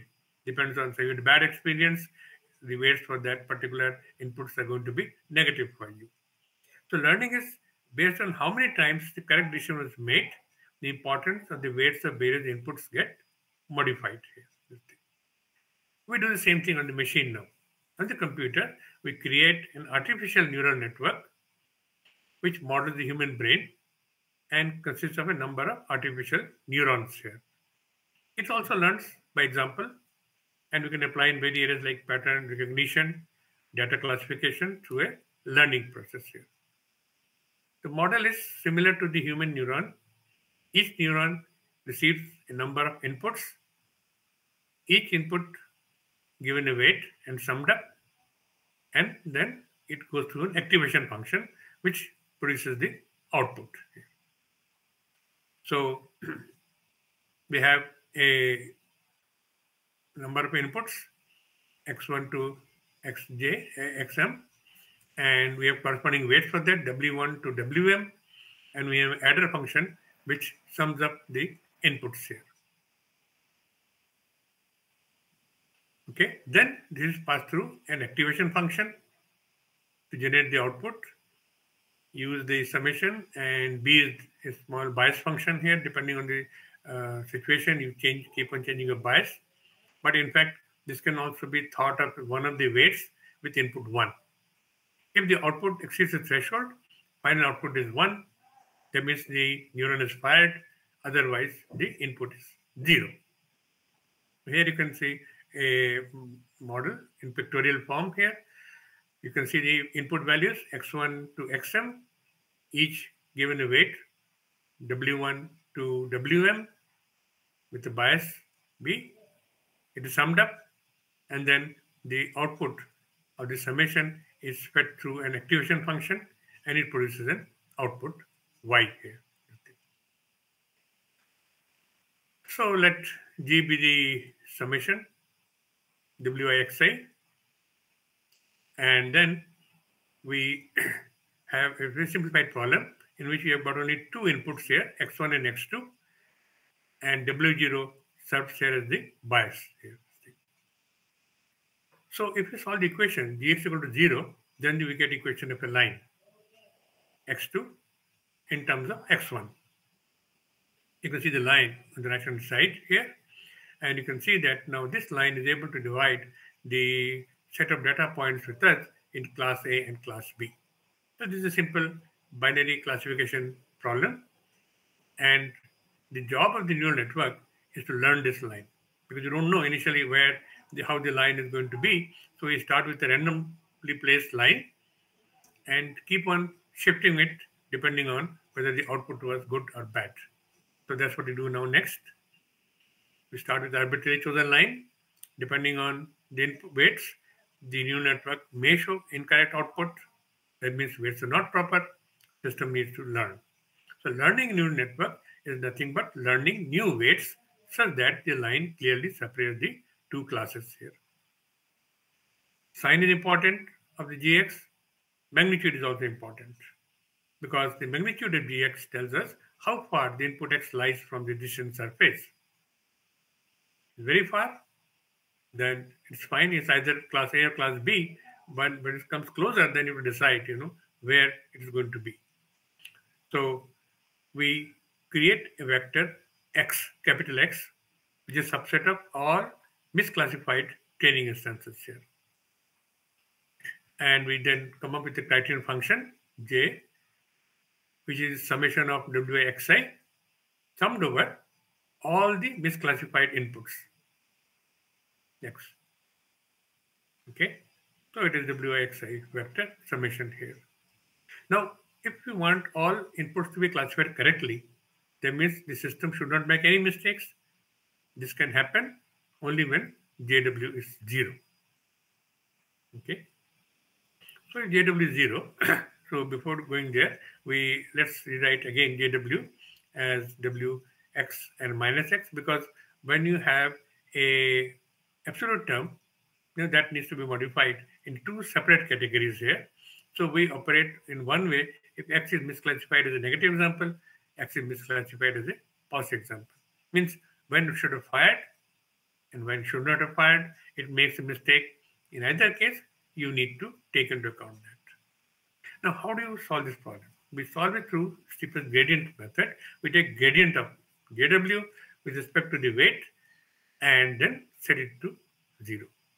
So here you can see in the bottom gradient del J, which is with respect to W here, x and minus x. So this neuron makes a mistake, you add the gradient to the previous weight here. Now, if you just add it directly, then the system may swing one end to the other end here, and it may not converge very fast here. To do that, we include a eta, a learning factor, whose value is between 0.3 to 0.6 typically here, which lets us slowly change the weights of the system here so that it finally converges to some place here. And keep on iterating in the direction of gradient until JW is equal to zero or very, very small. Then you can say, yes, we have learned enough whatever it could do from the given set of data points. Is the best thing that can be done. Now, this is a simple model. Only thing is limited that it can handle only linearly separable classes here. But in the real world, your things may not be so nice here. Now you can see here, this is line here. You can see two classes here.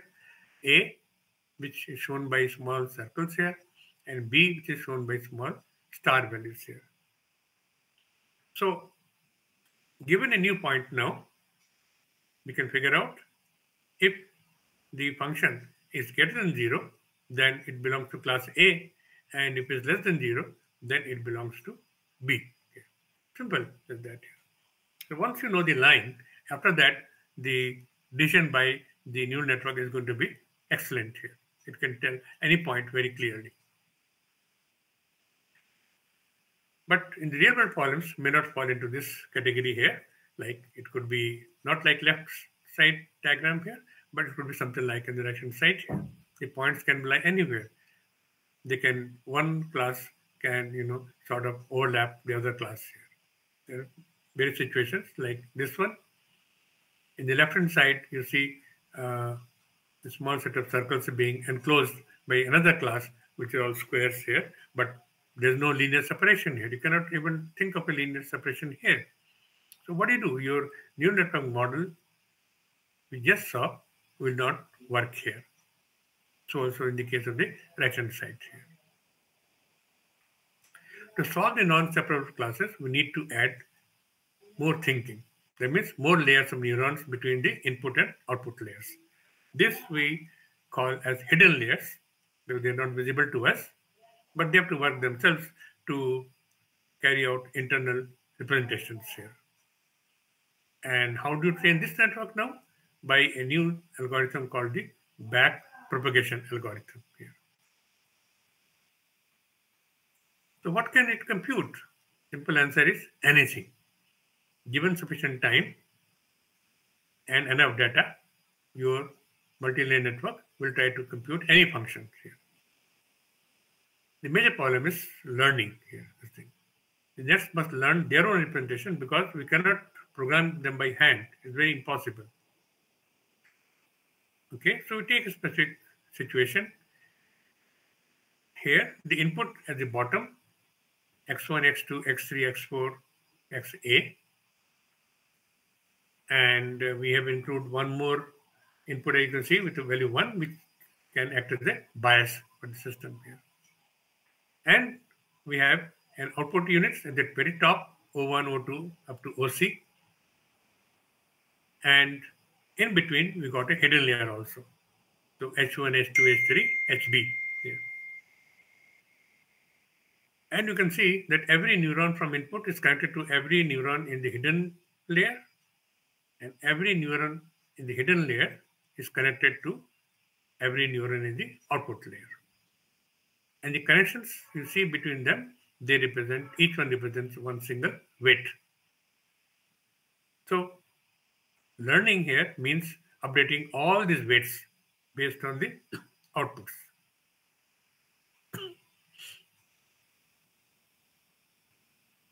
the error between the desired outputs and the actual output is that we want to minimize, and that is what we propagate back. And based on this, we update the weights. so we have two categories of weights here. Between the input and hidden unit, we call them as W1, and between hidden unit and the output unit, we name them as W2. So learning, we know what is learning now. What is learning here? Backpropagation algorithm searches for weight values to minimize the total mean squared error between input, uh, sorry, between the actual output and the desired output over the set of 10 examples here. So we have two passes here. First pass, we apply the input and let it go to the output and create the error. In the backward pass, that error is propagated back from the output layer to the hidden layer and ultimately to the input layer here. And this is done by recursively computing the local gradient of each neuron here. So you can see the green line are the forward layer. Obtain it. and uh, when there's an error produced at the output, we feed it back to the dashed line going back. Now, recollect that weights are adjusted based on the derivative function, gradient. Now, if we use a step function like either pass or fail for a neuron, it will not work because neither continuous nor it is differentiable here. So we find a better choice to use a sigmoid function here. In sigmoid function, it provides a smooth uh, between uh, distance between uh, no and yes, and it is not only continuous but also differentiable here. You can see the function here goes between 0 and 1 like previous one, but it's a gradual change. So this is our sigmoid function, 1 by 1 plus e to minus s, and we can differentiate it, which you can see it produces a product like this, but this can be written very neatly into another very nice form here. You can see that this can be uh, adjusted, terms are adjusted, and you can write simply as fs into 1 minus fs here.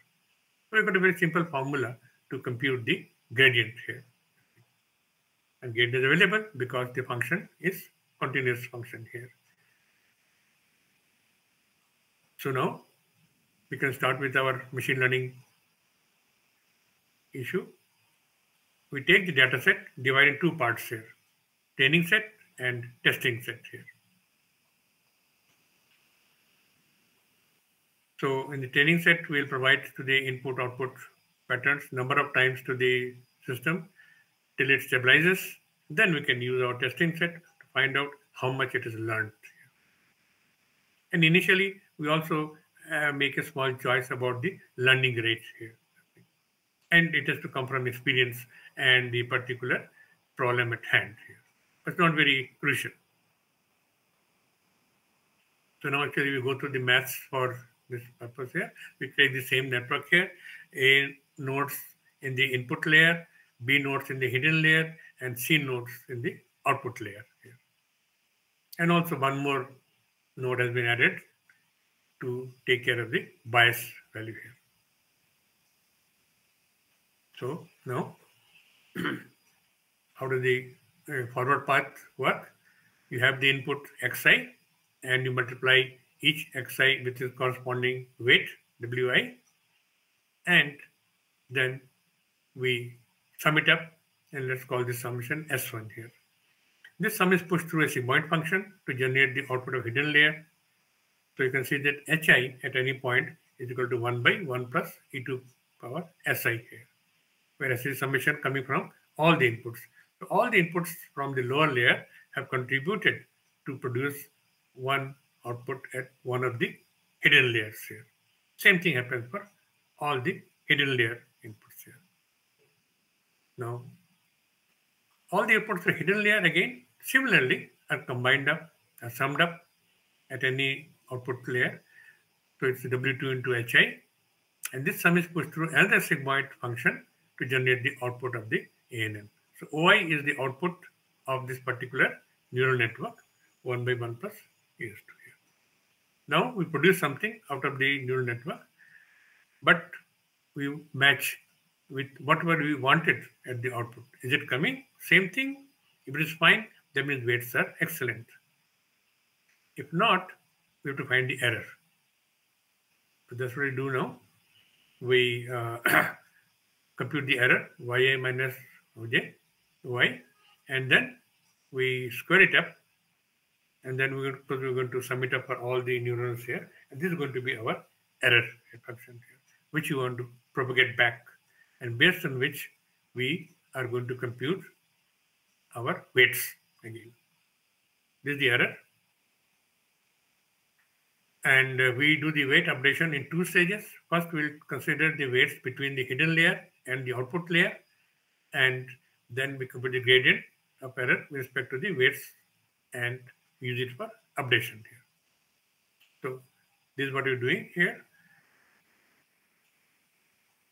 So this is the line that you see here at the output layer. We got the desired output and actual output. We take the difference, and the difference is going moving backwards now to the hidden layers here.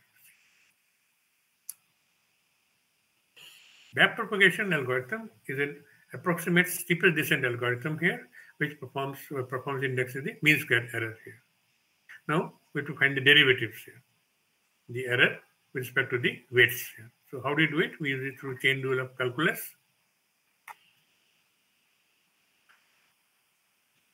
Or we want to find the derivative or the gradient of the error with respect to W2 between the output layer and the middle layer, hidden layer. Now that turns out to be equal to del E by del O, the actual output, del O by del S2, the summation, and summation del S2 by del W2, actual weight parameters here.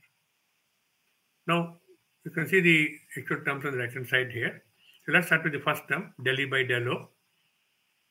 And the other term can be ex expanded now as this term here. And we take derivative respect to O. So the first term is evaluated yi square can be neglected and the remaining two terms are evaluated as this follows here. So that's why we took the half in the beginning here so that this 2 and this 2 can get cancelled here for numerator and denominator and you get minus yi minus oi as the first term on this chain rule here. Other two terms now del oj by del s which is nothing but the function that you see on the right hand side top y equal to 1 by this is the sigmoid function.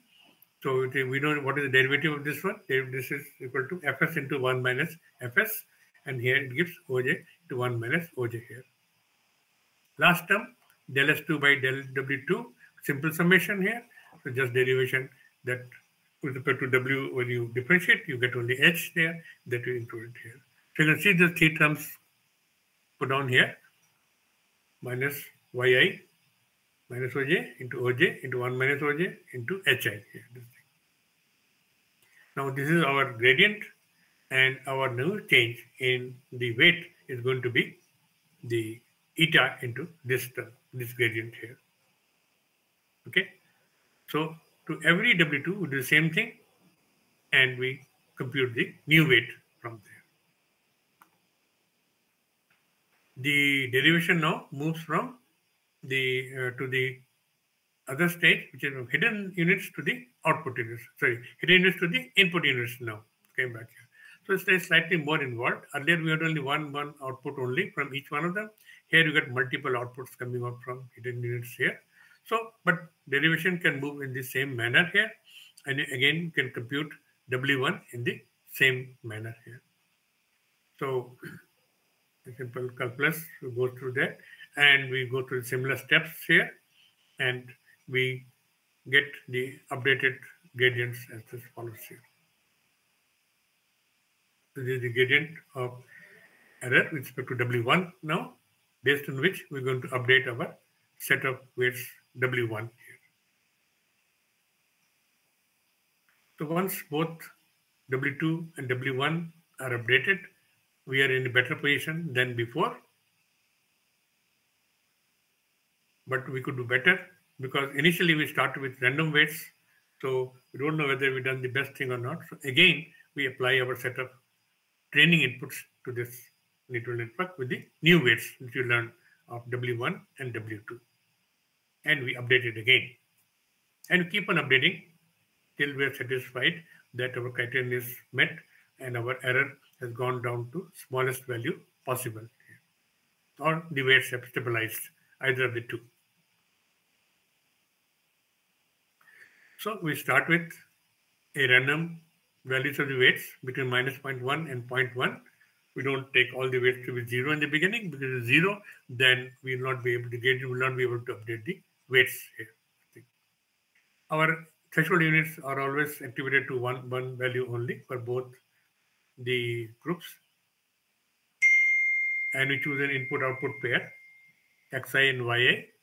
That for this xi, we want this yi assign the activation levels to the input units, propagate the activation from units to the hidden layer and find to the output layer.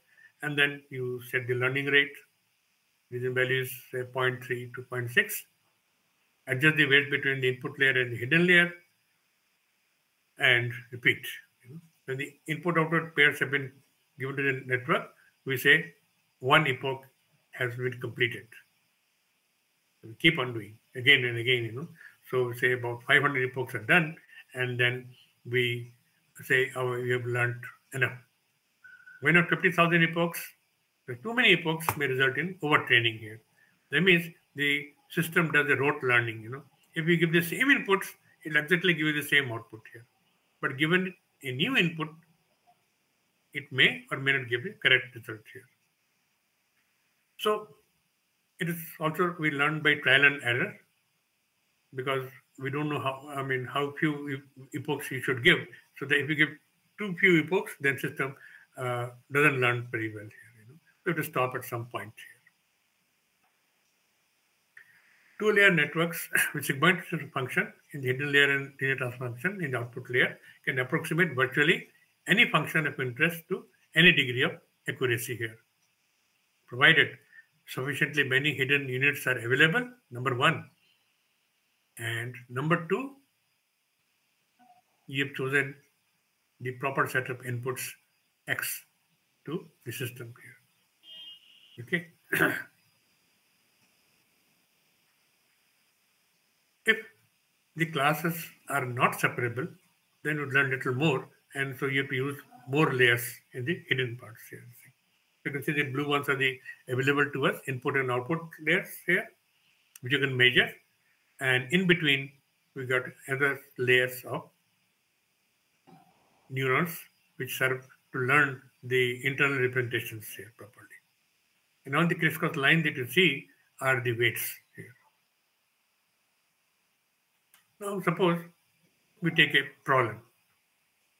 We say, okay, um, given a set of tomato leaves here,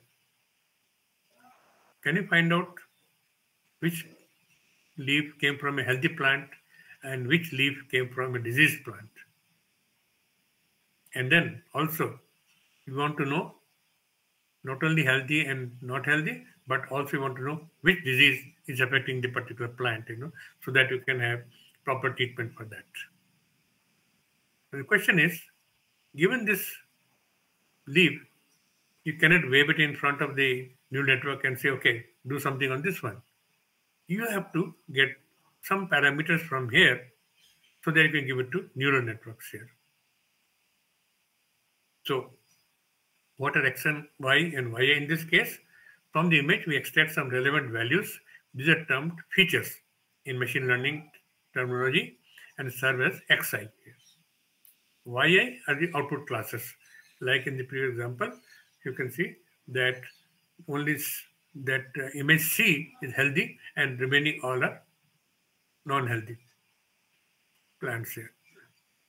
So the number of things you can see here, the 10 classes are there in this case, in all. This is the yi. xi. xi, these are the xi here.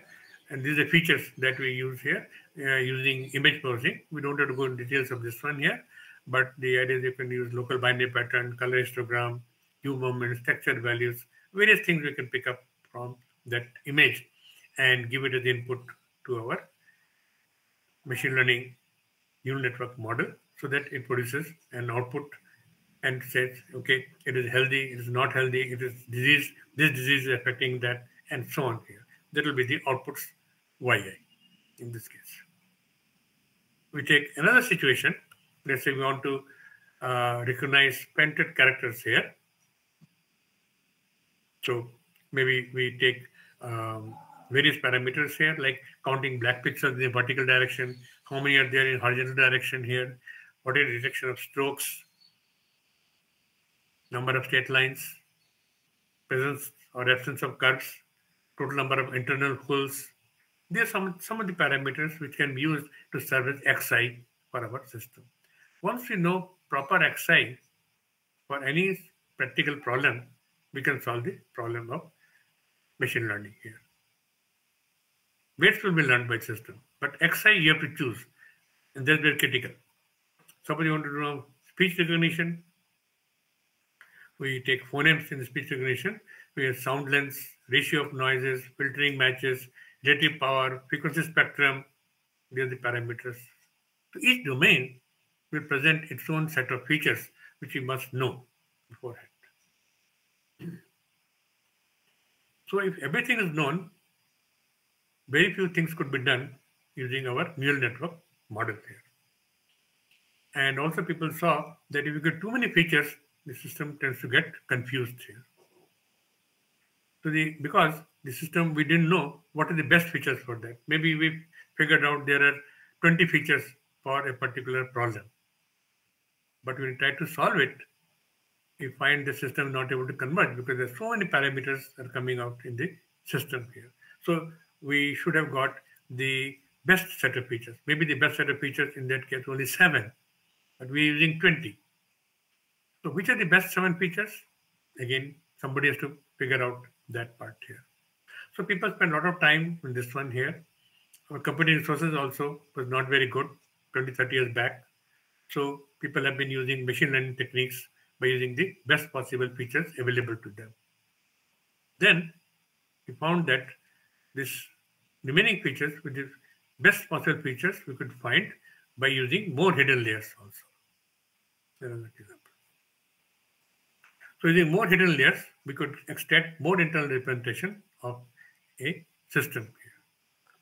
And that's what gave rise to what is known as deep learning here. So here's a deep learning model.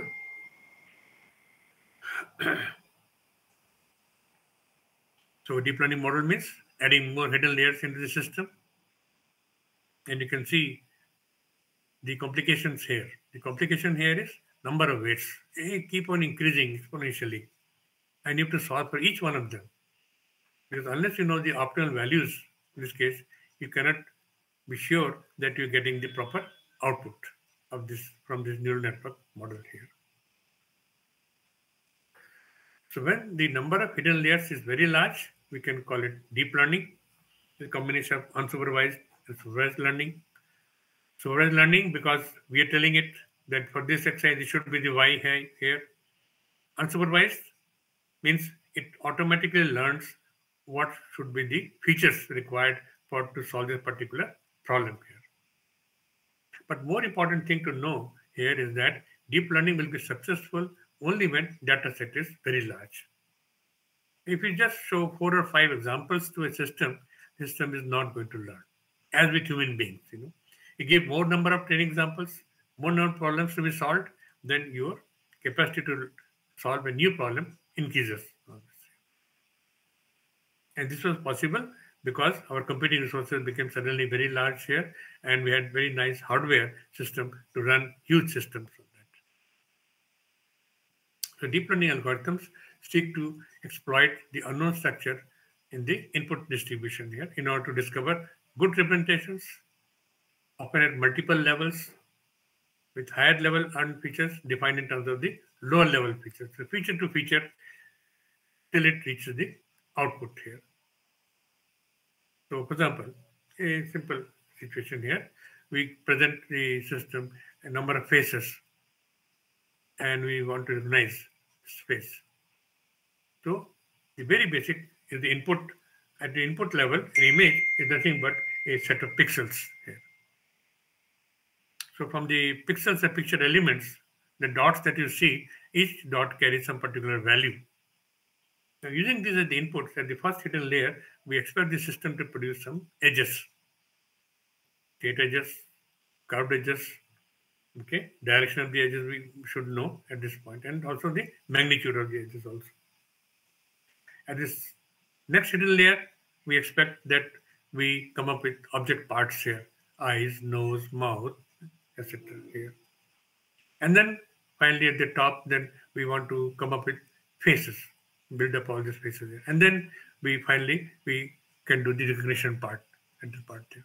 So all these internal parts that you see are hidden layer and uh, the size of the now network is much more than before here. And this is what is now we can we generally call as ANN here, artificial neural network with large number of hidden layers. Here. Now, we talk about features, we are having an example before us here. It is handwritten characters here. Printed characters is a bit more easy because exactly you know that every time you look at the character, it will be exactly the same thing. But when humans write the characters, you know, they've got their own peculiarities, as you can see from here. So now given this model to a artificial neural network, what features you might expect a good deep learning model to learn from there.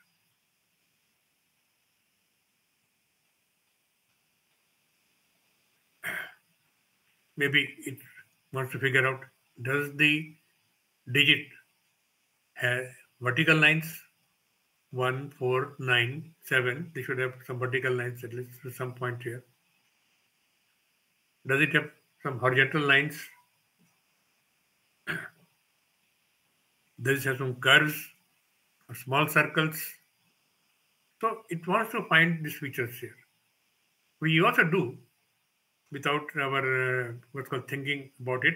Automatically, we do this thinking to figure out is it a five or a six or a nine. We try to do the same thing by our neural network model here.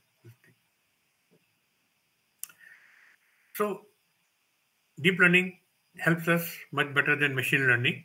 But thing is that very large number of weights parameters to compute, and this computation actually can go on not only hour or so, but can go for over a day or even a week to learn the parameters for a neural network model here. Second problem, I mean, that we have here is what is called vanishing gradients, because you know the weight updation is done by gradient choice. But if gradient is vanished, then how can you update your weights? You know. Then where the object is located, is it rotated? Then system will not be able to learn properly. If size is small, then also it creates a problem here. So let's look at one of the problems here. It's called the vanishing gradient problem. And uh, the new function is introduced, which is called the ReLU function here. The gradient value keeps on decreasing as it moves back. The error may be so small that by the time it reaches the layers closer to the input of the model, that it may have very little effect. So this problem is referred to as the vanishing gradients problem. Let's look at this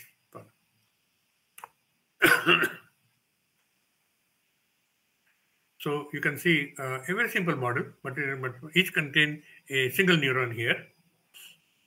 And uh, the final output is at the right hand side, C. So first we update the weight W4 with the gradient of the error between the, the output. Then that gradient again used to update the weight 4 and use that is used further to update the weight W3. Another gradient is computed. Now this gradient will depends on the previous gradient here. Okay. So this next gradient, by the time it comes to W1, you can see that the error has reduced so much. I mean, the gradient value is so small that it's not able to update the W1 properly from here. Okay, because you can see that W2 WV1, the effect that the output change, any change in the output will have on B1, you can see from delta B1 is product of so many terms here. Each term is less than 1. In fact, less than 1 by 4, in fact, here. Sigmas that you see here, they are sigmoid functions, and we're taking derivative of sigmoid function at each point here.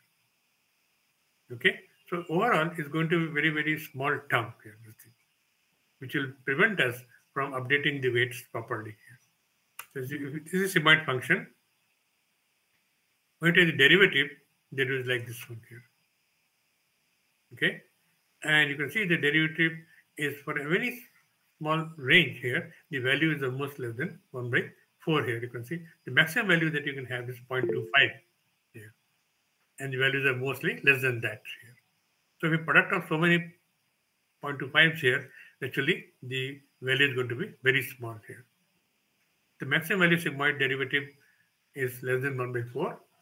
And so each term is less than 1 by 4. So when we take product as terms, the final value is going to decrease exponentially here.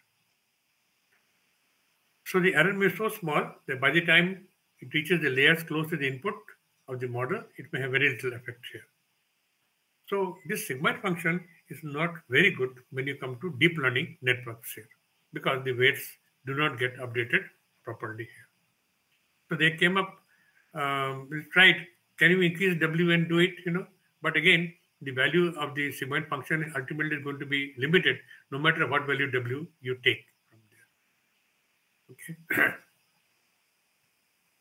so we want a back propagation, uh, we need a activation function that looks and acts like a linear function.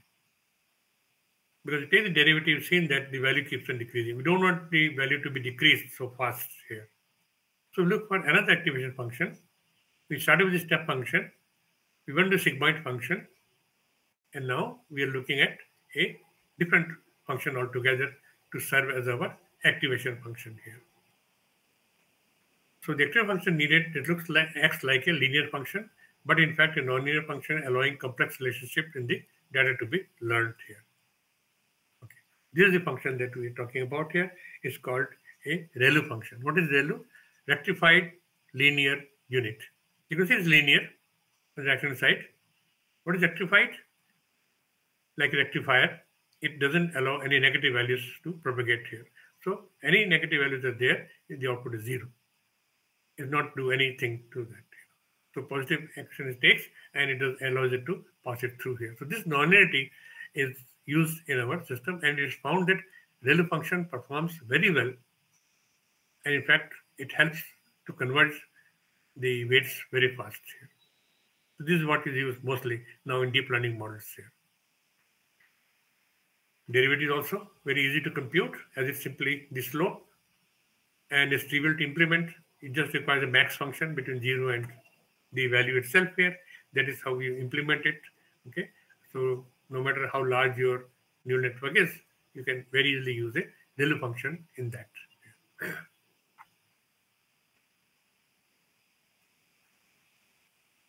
then comes the today's world which use what is called a convolution neural network. So we're very happy with the artificial neural networks, but we found a lot of difficulties with the artificial neural networks, ANNs. First of all, too many weights to compute. Secondly, if you just make a small shift in the image, you have to change the weights again because the system is looking at something different now. I'll give an example to you. Here, look at this A. Suppose there is a slice broken in between, or the size is small, or it is slightly rotated. Every image is a new image for the neural network. It's learned this thing all over again here. Now, to a human being, all these are A. Because human being does something else. It doesn't do pixel by pixel thing. It does something else altogether. And that is what is done by the convolution networks here. So again, we see the pedals of the ANN here, too many simply parameters here.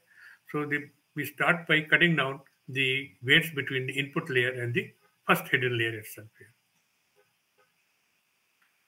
So you can see that image is 200 200, how many, and many hidden layers, how many weights are there, you know. Okay. So we don't have a difficulty in recognizing digits, alphabets, objects, even if it is shifted, rotated, or with size difference. Can you do the same thing? You know, how does our brain handle so many pieces of information that you have a large image, small image, people recognize it's a face, it's a pen, it's a phone, it's a shoe, you know, you can do it. Even though it is in any position, rotated, shifted, small size, big size, we're able to recognize them properly from here there is something else going on in our brain here. So I give a very simple example. I say, identify an image containing a building given three images from here. So you may say, well, it's the middle image. What's so great about it? But think a machine trying to do the same thing. What is it special in this image which tells us it is a building and that the first and the third image are not building here? Well, you may explain it anyways, but the thing is that no attribution neural network can be learned, can be used to learn what a building looks like here. You know, because a building can take any shapes. It can be single story, it can be multiple story, it can, you know, present from different angle here. But what is so common between these images, which yet so look so different? The main thing in all the images is that they all are built up of straight lines, vertical, horizontal, or even at an angle here. But they're all lines here. See. Very few curved portions are there in this case. That is the most striking point here. And we don't have to say that there are 10 vertical lines or 20 horizontal lines. No. A large collection of horizontal and vertical lines will sufficiently point it that it could be a building here. That's what we want from here. So ANN will not be able to do this job ever because each image is different. It learns different things from there, shape, size, you know, angles, um, number of points in corners. They're all different. So now, even if you give 100 different images of buildings to ANN, it will be very difficult to spot a new building here. So what is we do now here? We figure out the number of stages in this one here. How do you do it? We use what is called a convolution filter.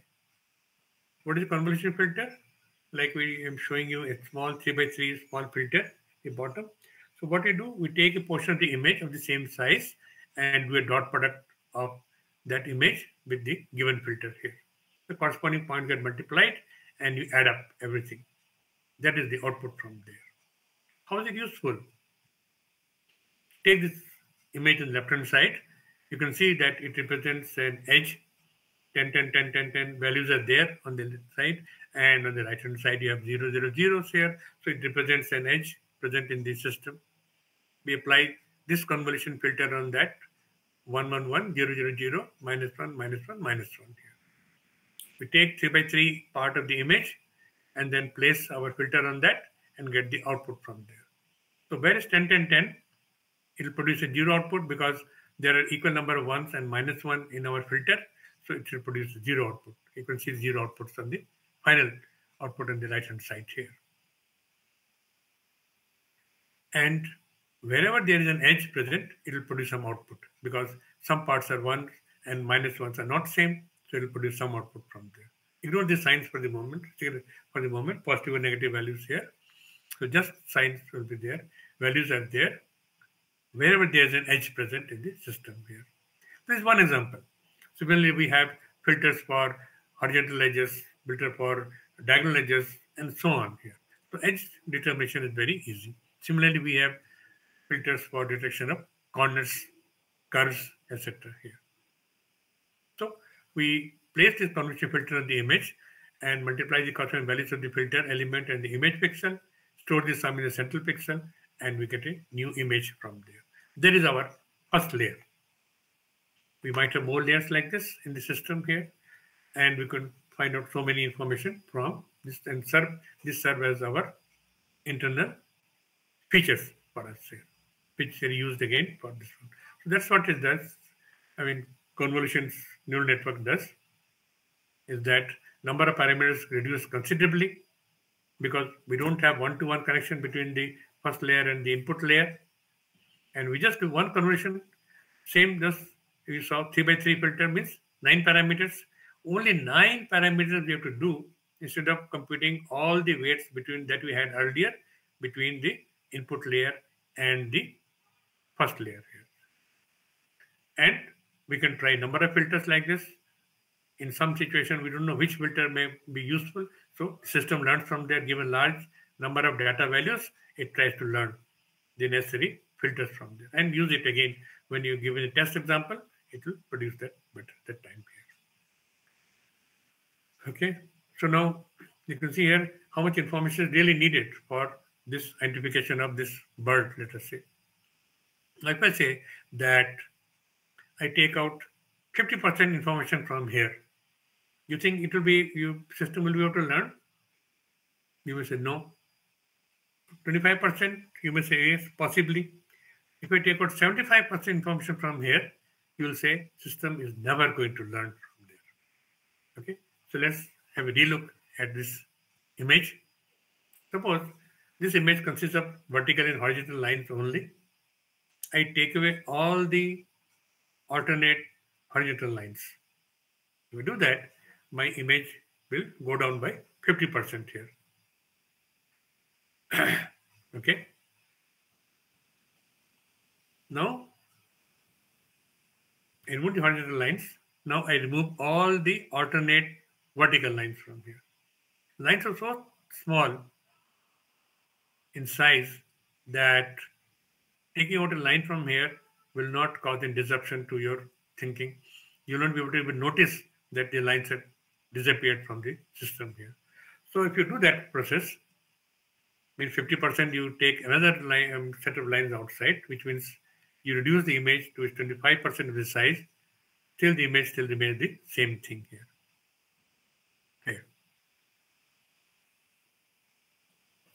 So in the right hand side image, we have taken out the alternate vertical lines, alternate horizontal lines. The size is reduced to 25% of the original size here, and still you can see it's the same bird here. If you give this job to an artificial neural network, it will fail. It will not be able to do the job properly from here. But if you give it to a CNN, it has to only figure out where the curves are there, what colors were used here, what are the combinations of colors. Everything is same in both the images here. And that information is picked up by CNN properly here. Okay. So maybe I can end my talk here at this point because I'm running out of time now. I try to give you a very uh, simple mathematical basis for our networks. Yes, sir. Thank you, sir. Yeah, very. Uh, there were some questions from uh, some Bala Subramaniam and this thing. Can we address to that? Sure. Uh, uh, uh, Dr. Pawan, do you have his uh, this thing there? No, he uh, yeah, actually, uh, yeah, in the chat box, maybe I think what he was. saying. Yeah, uh, it was a very interesting and very nicely presented, and you have really explained the power of mathematics, sir.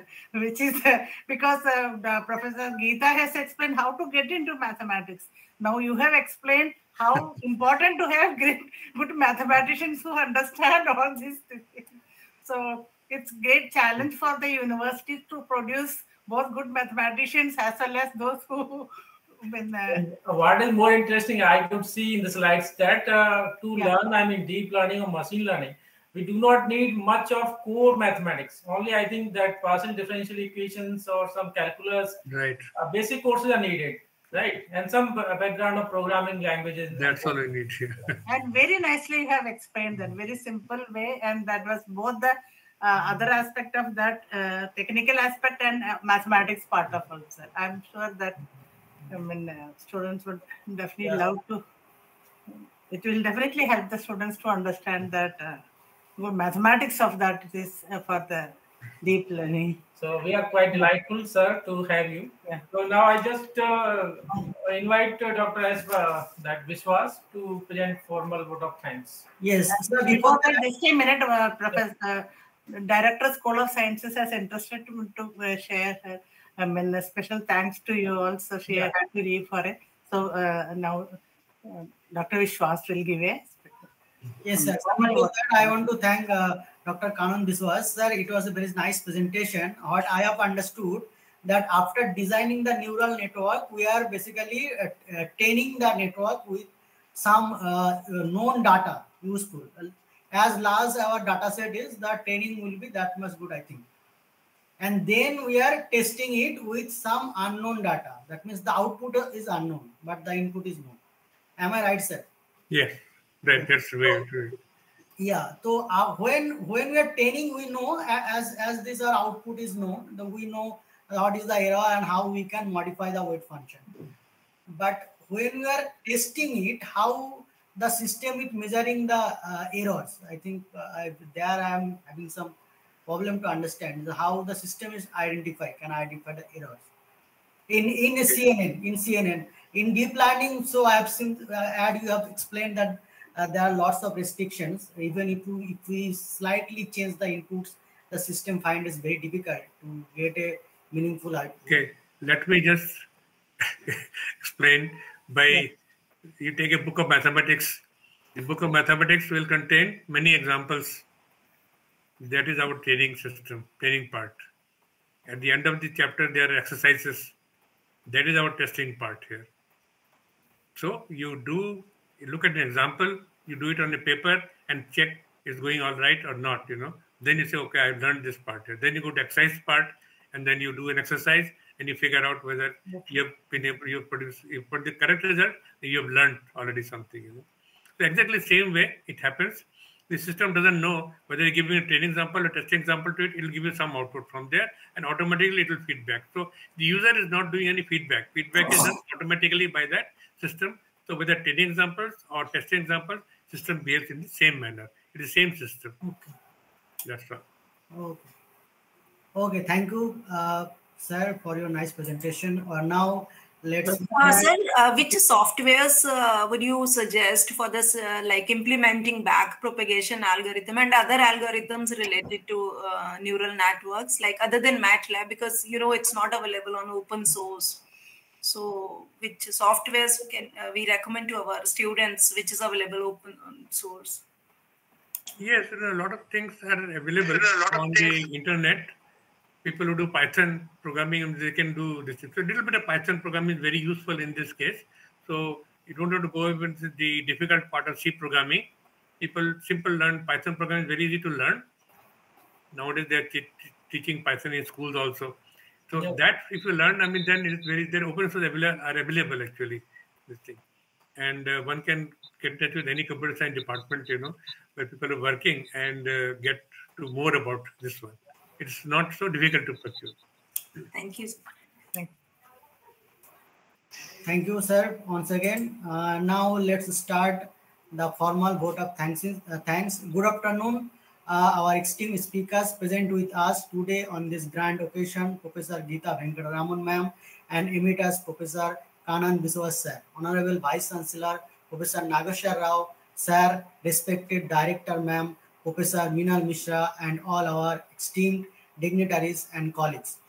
It is such an honor for me to get the opportunity to propose vote of thanks to all the dignitaries present in this webinar on the 136th birth anniversary of great Indian mathematician uh, Srinivasa Ramanujan on the event of National Mathematics Day. On the behalf of Mathematics Discipline School of Sciences, IGNOU, we feel proud to extend a warm welcome to all the dignitaries attending this online webinar we would like to express our deepest sense of gratitude to both the esteemed speakers, Professor Geeta Venkataraman ma'am and Emeritus Professor Kanad Biswas sir, for gracing the occasion with their redundant presence and genuine contribution to make this webinar a success. We trust that everyone present here must have immensely benefited from the same. We would like to wholeheartedly extend our sincere gratitude to Honorable Chairperson Professor Nageshwar Rao sir for his guidance and leadership and sparing time from his extremely busy schedule to grace this event of national pride. Thank you very much, sir, for sharing your inspirational and encouraging words on this important day with us, like always. We would like to extend special gratitude to respected Professor Nilam Misra ma'am, Director, School of Science, for providing all the necessary administrative and academic support to make this webinar a success. We also extend our sincere gratitude to respected Professor Shochi Shah, ma'am, Director, Center for Online Education, IGNOU, for live broadcast of this prestigious event on YouTube and Facebook Live.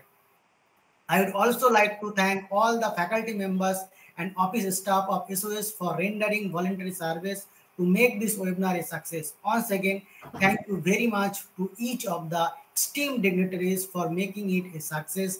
Thank you very much for being with us. Have a pleasant day. I think. Uh, Thank you. Thank you, sir. So uh, yeah. So Thank you all. Thank you. So with the permission of uh, director, can we end the meeting? Yeah. I think. we can. Thank you all, please. Thank you.